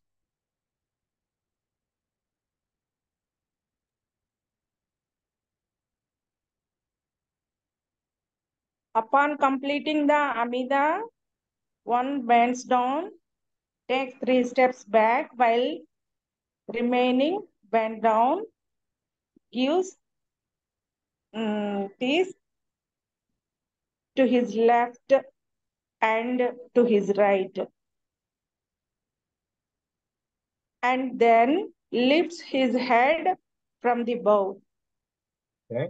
This is literally a quote, word for word quote from the Mishneh Torah of the Rambam, the laws of tefillah, the laws of prayer, chapter 5, the 11th halacha. Okay, Tamshichi, continue, Tamshichi. Hmm. Halakha uh, does not require that any specific words be said while giving peace. Uh, indeed, R Sadai. The R means rabbi, Rav, Rav Saadia Gaon. Mm, writes that uh, this giving peace is no more than a silent nodding of the head to the left and the right. For one who desires to um, verbally give peace, we suggest the ancient custom as reported by the Rif means reference. Rif is uh, Rabbeinu Alfasi. He was he he made the major halachic work that was written before the Rambam's Mishneh Torah. So he basically took all of the Talmud and removed the stories. The Talmud has laws and it has arguments and it also has stories. So he basically gave us the Talmud but removed the stories so you can more quickly learn just the laws. But he did not do what the Rambam did with the Mishneh Torah. The Rif did not reorganize the Talmud. So the Rambam in the Mishneh Torah organized the, the laws of the Talmud in a very rational way. So the Rif did not do that. And he also does not just give us the law, the Rif also gives us all the arguments, the disagreements and the debates in the Talmud. But it's it's more useful than the regular Talmud because it doesn't have all the side stories and, and legends and everything, which are also useful, but if you want to just learn a law, it makes it more difficult to find. So that's who the Rif was. He was a major rabbi who lived before the Rambam, before Maimonides. So what he says is a very ancient custom. Whereas Rav Saadia Gaon, who was even more ancient, more ancient than the Rif. Rav Saadia Gaon was the leader of the Jewish world in his generation. He said that when the Talmud says to give peace, there's no obligation to say certain words. It's sufficient. It's enough that you just nod your head to the left and the right. The Rif mentions a custom where you just say peace, peace, and then as you lift your head, you say, He shall make peace. And now in modern times, it's important that we know that the mainstream practice, the popular practice, they say uh, like a whole paragraph while they're give, giving peace to the left and the right. They say, then they turn to their right.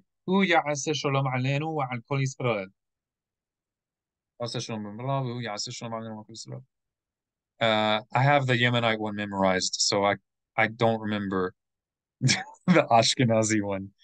The Temani one, the Yemenite one is even longer. Eh, I'm not going to take our time to say all that. Anyway, so that's the idea. You do not need to say all of those words if you don't want to. That that's not an obligation. Uh, Maurice, would you like to read what we do after, after we lift our head?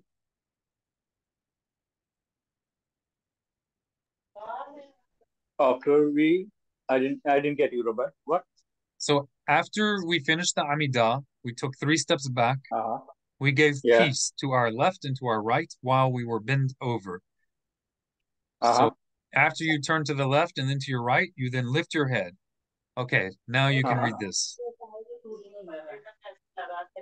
After you Okay, lift we, your head, we uh, just become left, then right, then Correct. we uh, pray, then we say, uh, yeah, say shalom. okay? That's a custom. It's an ancient custom, but it's not required. All right, let's continue. Tamshich likro, continue reading.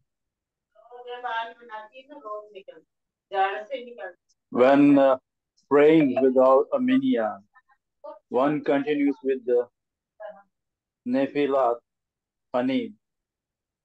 If praying with a minyan, one remains standing in place, the during duration of the repetition of the Amidah, attentive to the words of the Hazan, answering Amen at the end of each blessing. Okay. Okay. Continue. Tamshich.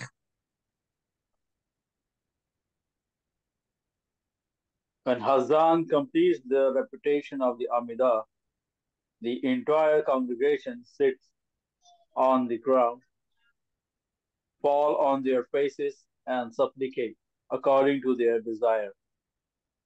So here, so the Amidah is a structured prayer. It has structure, it's a ritual prayer. You can add your own voluntary words inside the Amidah, but only in the middle blessings, not in the first or last three blessings. So the first and last three blessings of the Amidah should never be added to, but the middle blessings of the Amidah, you're allowed to add to it. Um, but you should not add a whole lot. You should not add as much, so much that it will make your community be waiting for you.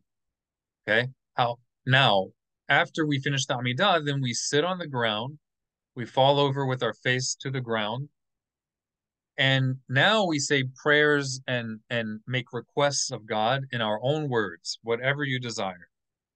So our sages established what's called nafilat panim, falling on our face, tahanun, supplications. They established this practice to make sure that the people of Israel continue to pray to God in our own words from our heart.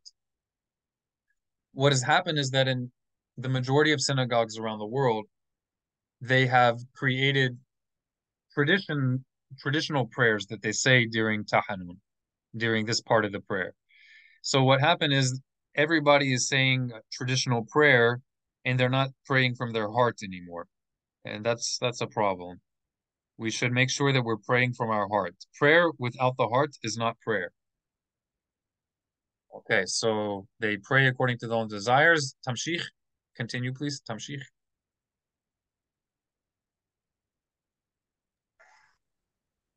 They then lift their heads and supplicate a bit more while sitting. On praying without a minyan does likewise. Okay, and you can find this. so. Excellent. Chapter 5, 13 through 15th halacha, chapter 7, the 17th halacha, and chapter 9, the 5th halacha. You guys can find this on the Chabad website. It's it's public information. Um, most Jewish communities, and when I say most, I mean almost all of them, do not do this. Almost all of them, if they are Ashkenazi, they fall on their face, but they do it while sitting in a chair. So they prostrate, but not on the ground. Um, and most Sephardic synagogues, they don't, excuse me, they don't do it at all because of the Zohar, because of some Kabbalistic teachings in the Zohar. oh, I'm sorry. the Jews of Yemen continued to practice this halakha more similar to the way it's taught in in halakha. They continued to do this less than a hundred years ago, but when they moved to Israel, many of them were treated badly at first. They're not treated badly like they were at first, but at first they were. And they had many customs that were different from all the other Jewish communities because the Jews of Yemen were not as influenced from different places like other Jewish communities were. Because Yemen is very, very isolated. It's very far from other places. So it didn't change as much. And they used to be uh, criticized for being like Arabs or being like Muslims. So the Jews of Yemen in the last about 70 years, most of them stopped doing this. But before 70 years ago, the normal practice among the Jews of Yemen was to properly keep this halakha. This is still the halakha. It's just that people don't do it anymore. And if you feel pressure If you are forced to not do it, you still fulfill your obligation. But if you are in a place where you do not feel pressured, you are not forced to not do it. If you're praying at home or in a in your own community and you feel comfortable to do this, then this is what we should do. And eventually the people of Israel will return to doing this. When we worship God in the temple in Jerusalem, prayers are not allowed in the temple. So people will not they will not be sitting in chairs doing this in the temple. And probably by that time the, the proper prayer will be restored to the people of Israel. But currently the mainstream practice, they break this halacha. They don't do it. Okay, let's continue. Uh, Sipora, would you like to read this halacha?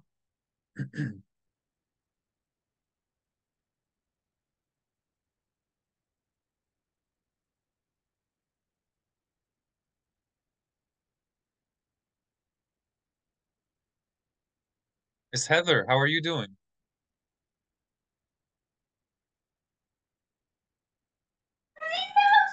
I'm fine. How are you? Baruch Hashem. Good to see you here. Thank you. Would you like to read this for us?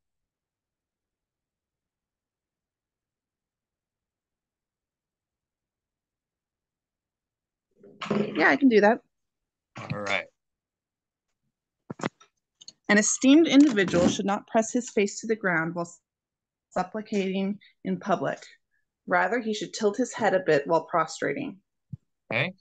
Now, this is a very summarized explanation of this halacha. It's in chapter 5 of the Laws of Prayer, the 15th halacha. And the reason given is that if it's a highly esteemed person, I'm so sorry. I haven't drunk water since I woke up. I need to drink some water. Um, if it's a very highly esteemed person and they're leading prayer, so it's it's someone who's going to be considered especially righteous. And we're afraid if this person uh, makes public supplication and publicly presses his face to the ground while praying to God, if he's not answered, then it will be a desecration of God's name.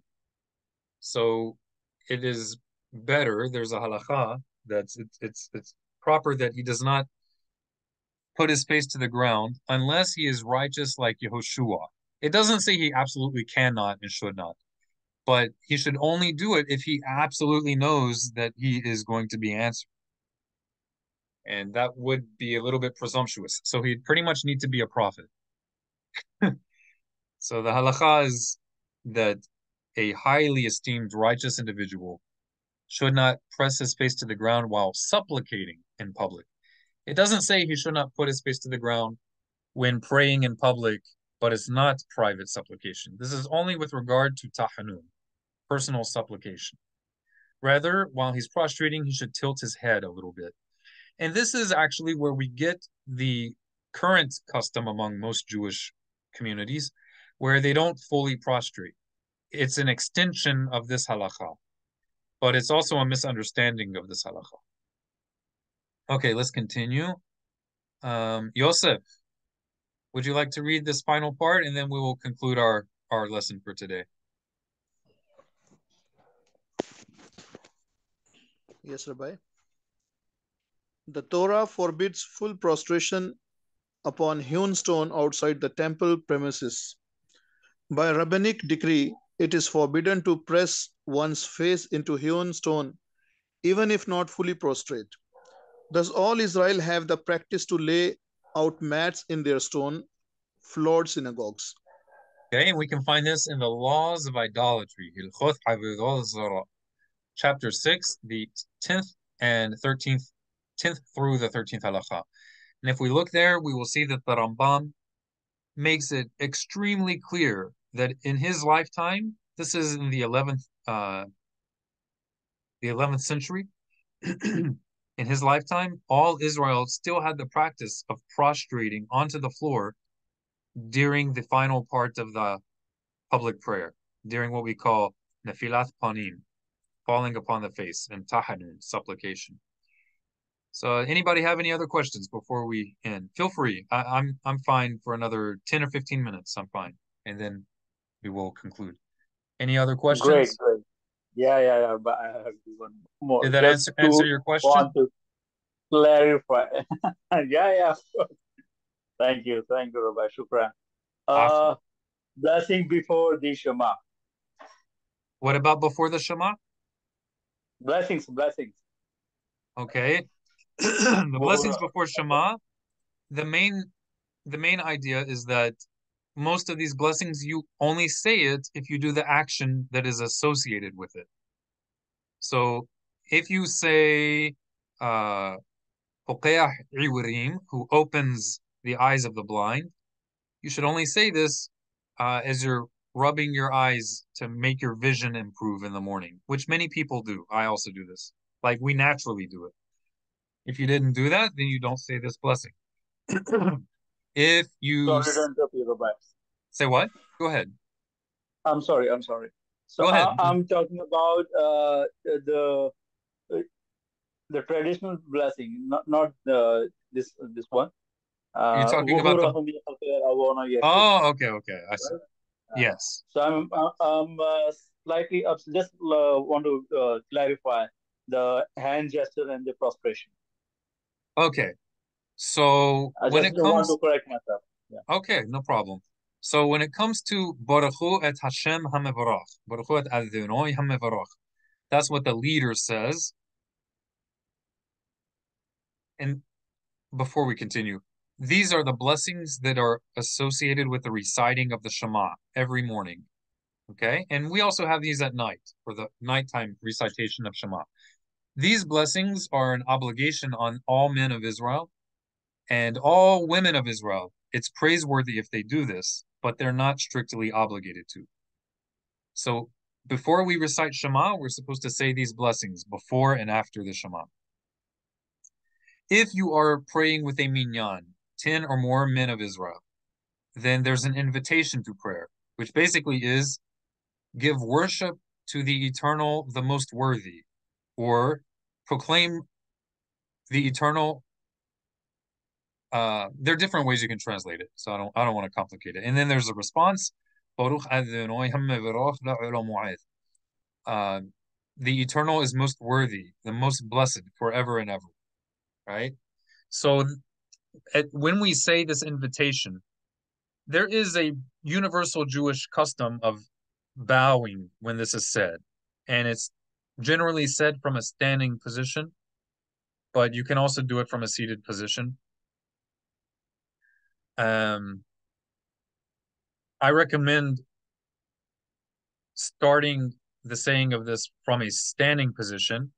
And then when you bow at the Baruch, which is the response, then you bow all the way to the ground. So then you're in a seated position. So you started standing and then you end up in a seated position while reciting the blessings of Shema. But it's very important to know that any sort of bowing during these blessings, it is a matter of custom. It is not a halakha. You're not required to do it. Albeit it is a universal, it's a pretty much a universal custom. Ashkenazim and Sephardim all over the world bow at this point when they say Baruch They do not bow onto the ground. Just like in the Amidah, they do not bow on the ground. So what the ancient practice was and what people do today is very often a little bit different. and I don't recommend bowing onto the ground in a regular synagogue unless you are prepared for the uh, challenges that you will naturally be met with. I also very much recommend that you have a piece of paper or a cloth to separate your face from the floor because they do not remove their shoes in most synagogues anymore. The traditional custom all over the Middle East was to remove the shoes before you come into a synagogue. And all over the Middle East, they continued to do this until this last century. So that is actually a new custom to not remove your shoes when you go into a synagogue. Um, but that means that the floor is going to be more dirty. So I don't recommend doing it unless you have a cloth or something to separate your face from the ground. And also, I don't recommend doing it unless you are prepared for the extra difficulty it's likely to make for your life. But certainly, if you're praying alone or with friends who are understanding, then absolutely do this. Bow onto the ground. Um, but again, all the bows of the of the blessings of Shema, they're voluntary. They're not a halakha that our sages required. Local communities can have their own customs. So you can create your own custom for where you bow in your local community.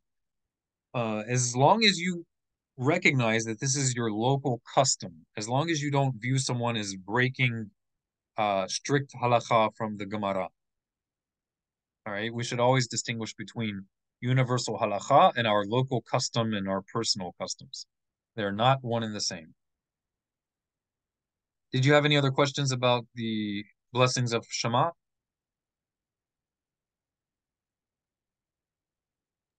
I'm So- just curious about the uh, Wuhu Rahum Yekhaber, that Okay. that blessing. Yeah. Okay. On, Now, when it comes, remember on your YouTube channel? Yeah, go ahead. Go ahead. What were you saying?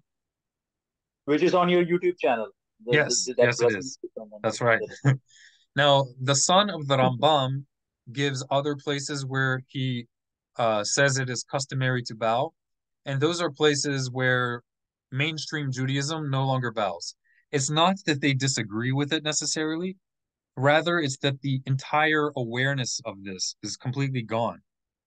Mainstream Judaism is completely unaware of it. It's not even a dispute. Like they don't even talk about it. But there are a few other places where you you can bow, uh, but these again they'd be voluntary bows, and I prefer to. I will send them to you in the WhatsApp group. Let uh, please remind me in the WhatsApp group if I don't get around to posting it there. Sure, Rabbi. All right, so we'll By conclude. way, Go ahead. uh, on this uh, last Yom Kippur, on this, we um uh, dive into uh, Delhi Shul, and they had their uh, custom on uh, on especially on Yom Kippur. We just uh, take off our shoes and uh, we prostrate on uh, handkerchief. We're taking the separate handkerchief. That's that's the way it should be. Couple. It's the way it should be. Of so course, I asked you, Rabbi, why don't you doing all, all the time? So he just We- uh, said we the sh- same. We just skip this uh, tradition, but we we don't uh, do uh, variant on this on Yom Kippur. So it's most the people don't day. even know. We have to Most people don't even know that historically it was every day. So that the the, the thing is uh, funny. Uh, some uh, guy came from uh, America, maybe uh, New York or uh, Michigan. I'm not sure about him. He take my number. So he he's he's Ashkenazi Jew, and uh, he prostrated first time on Yom Kippur with uh, with along with us. So he's surprised. So uh, for saying uh, uh, why you are uh, doing this. Uh, That's actually a, a normal on on Yom Kippur is actually a mainstream Ashkenazi practice to prostrate on Yom Kippur. If an yeah, Ashkenazi, but go ahead. but I'm surprised. He, he he he didn't say that. He said we we are not doing this. On, If an Ashkenazi Jew, yeah, if an Ashkenazi Jew is not familiar with that practice, then it means he is he doesn't have a lot of experience with the very traditional Orthodox Ashkenazi world. I don't know if Reform or conservative Ashkenazi Jews bow onto the ground, and I strongly suspect that they do not. But there could be some variation with them as well. I mean, they're not all the same, Uh-huh. but that could be why. He may have simply never been at a very traditional Ashkenazi Orthodox synagogue. With with Ashkenazi traditional Orthodox Haredi Ashkenazim, that is a universal practice on Yom Kippur and also on Rosh Hashanah. Then Rabbi uh, shared his uh, handkerchief to him. So That's great. he prostrate. Excellent, excellent. All right, I let's con- let's conclude our Yeah, lesson. You, Rabbi, by the way. My pleasure. We're going to conclude our lesson. if anybody has any other questions, so we're ending our lesson now, but you can share your questions in our WhatsApp group. I'll do my best to respond as soon as I can.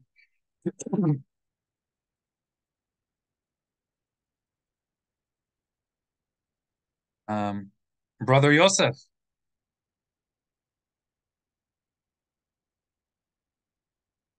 Rav Yosef. Yes, Rabbi. Could you help us by reading this first line of the prayer we say when we finish the house of study? Okay Just to hear. Uh, which line? The first line. Okay. מודיעני לפניך, אדוני אלוהי, ששמת, סורי, ששמת חלקי מיושבי בית המדרש. Beautiful. Beautiful. All right, let's let's get some let's get someone to continue it, okay? I'm uh Okay. I'm testing everybody's practice. I'm I'm testing everybody to see where we got where we are at. Your your Hebrew is mashu, mashu mashu, something something, something else, something else. That's a compliment. Okay, Maurice, would you like to read the next line? Up to the blue dot, from here to here.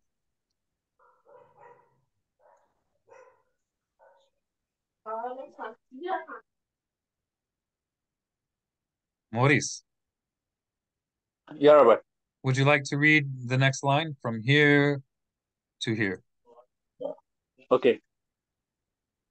I'm using my mobile, so screen share is very fine. So. I'll just try. Allah samha el ki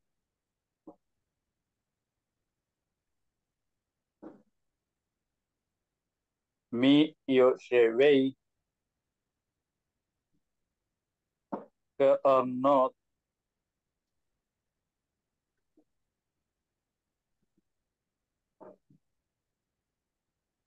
Or where do you see that? She Only. Me. Me shaking. mash mash שאני mash. והם שאני, והם משכימים. All right. Shani Mashkim. והם משכימים. Sorry. My screen is very tiny. Sorry. Oh, it's okay. I understand. Sipora Tur Shalach.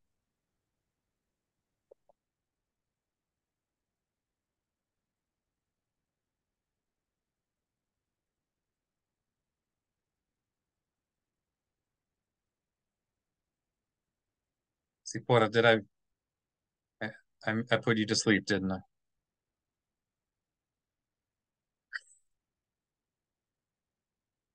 Okay, let's see.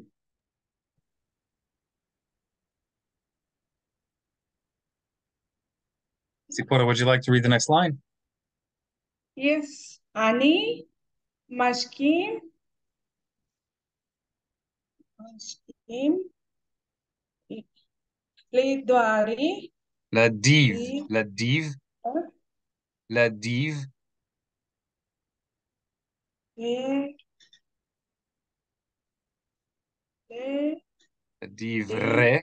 Le divre. Ah, le divre. Torah. Mehem. Mashkimi. Mashki. Mashki. Me. Good. Asking. Lit Varim. Um, eh, this is ba or wa? B is in boy. Anytime there's a dot in the bet, it's B, like the word boy or bad or bad boy. okay. Bet Betelim. Beautiful. All right. Um, let's see. Rebecca Miriam. Ani, Ani Eman, Mehem, Amelim. All right, let's get someone to do the next little bit. Rebecca Miriam, you with us?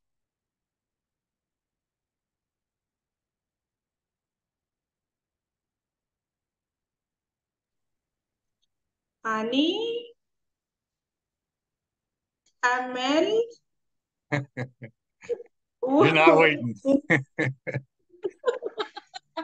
Let me- I'm not okay. hold on, hold on, hold on. Let me let, let me get someone else.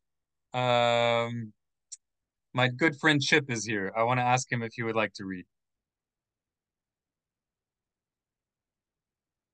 Yo, homie, Chip, Habibi.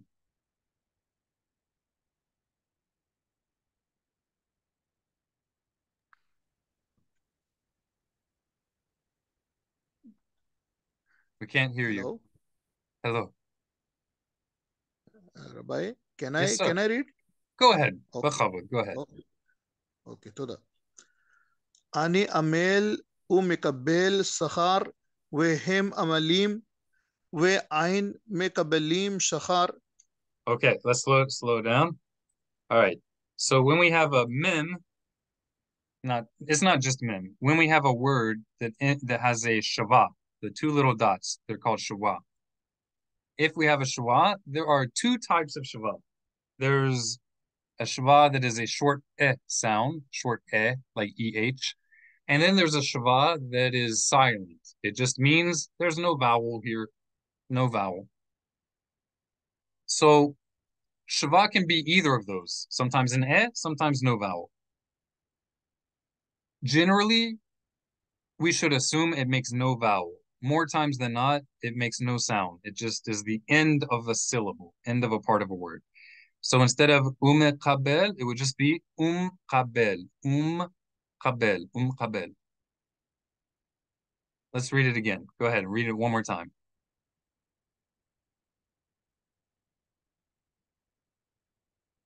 Rav Yosef.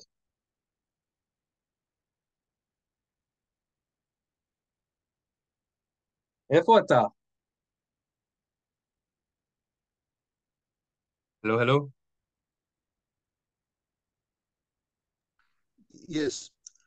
אני עמל ומקבל שכר, והם עמלים, ועין אני רוץ לחיי העולם, הבא והם רצים לבער סחט. All right. Now, when we read Aleph, we need to be careful not to make it like Ayin. So instead of leave air, you want to say leave air, leave air. Leave air. Uh, so not leave air, but leave air, leave air. This is a regular EH sound, like in English, air, air.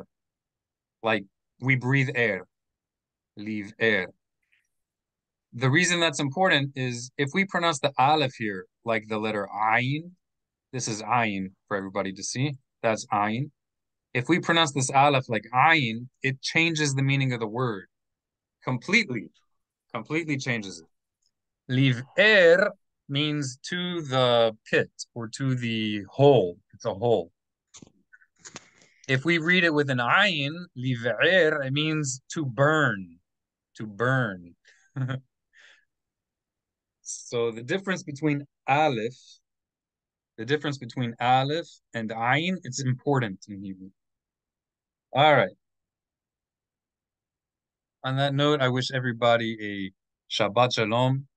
May it be God's will that He give us a heart to run, to keep His mitzvot, to be kind to each other, to be forgiving and patient, and a heart to know Him, to know His name, and to know and value all creation. Shalom al Yisrael. Ken yehi ratzon. May it be God's will. When Omar and everybody said, Amen. Amen. All right, now everybody repeat after me. Everybody repeat after me. Am Am Yisrael Israel. Hi. Hi. Hi. Hi.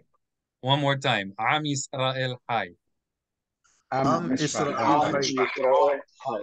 All right. That means the people of Israel live. As long as God lives, we shall live. Am Yisrael Hai. Shabbat Shalom. Shabbat Shabbat shalom. shalom. Shabbat Shabbat Shalom. Shalom. Leila Tov. Leila לילה Tov. טוב, Shabbat שבוע shalom טוב. לכולם. תודה רבה. עליך ועל כל ישראל.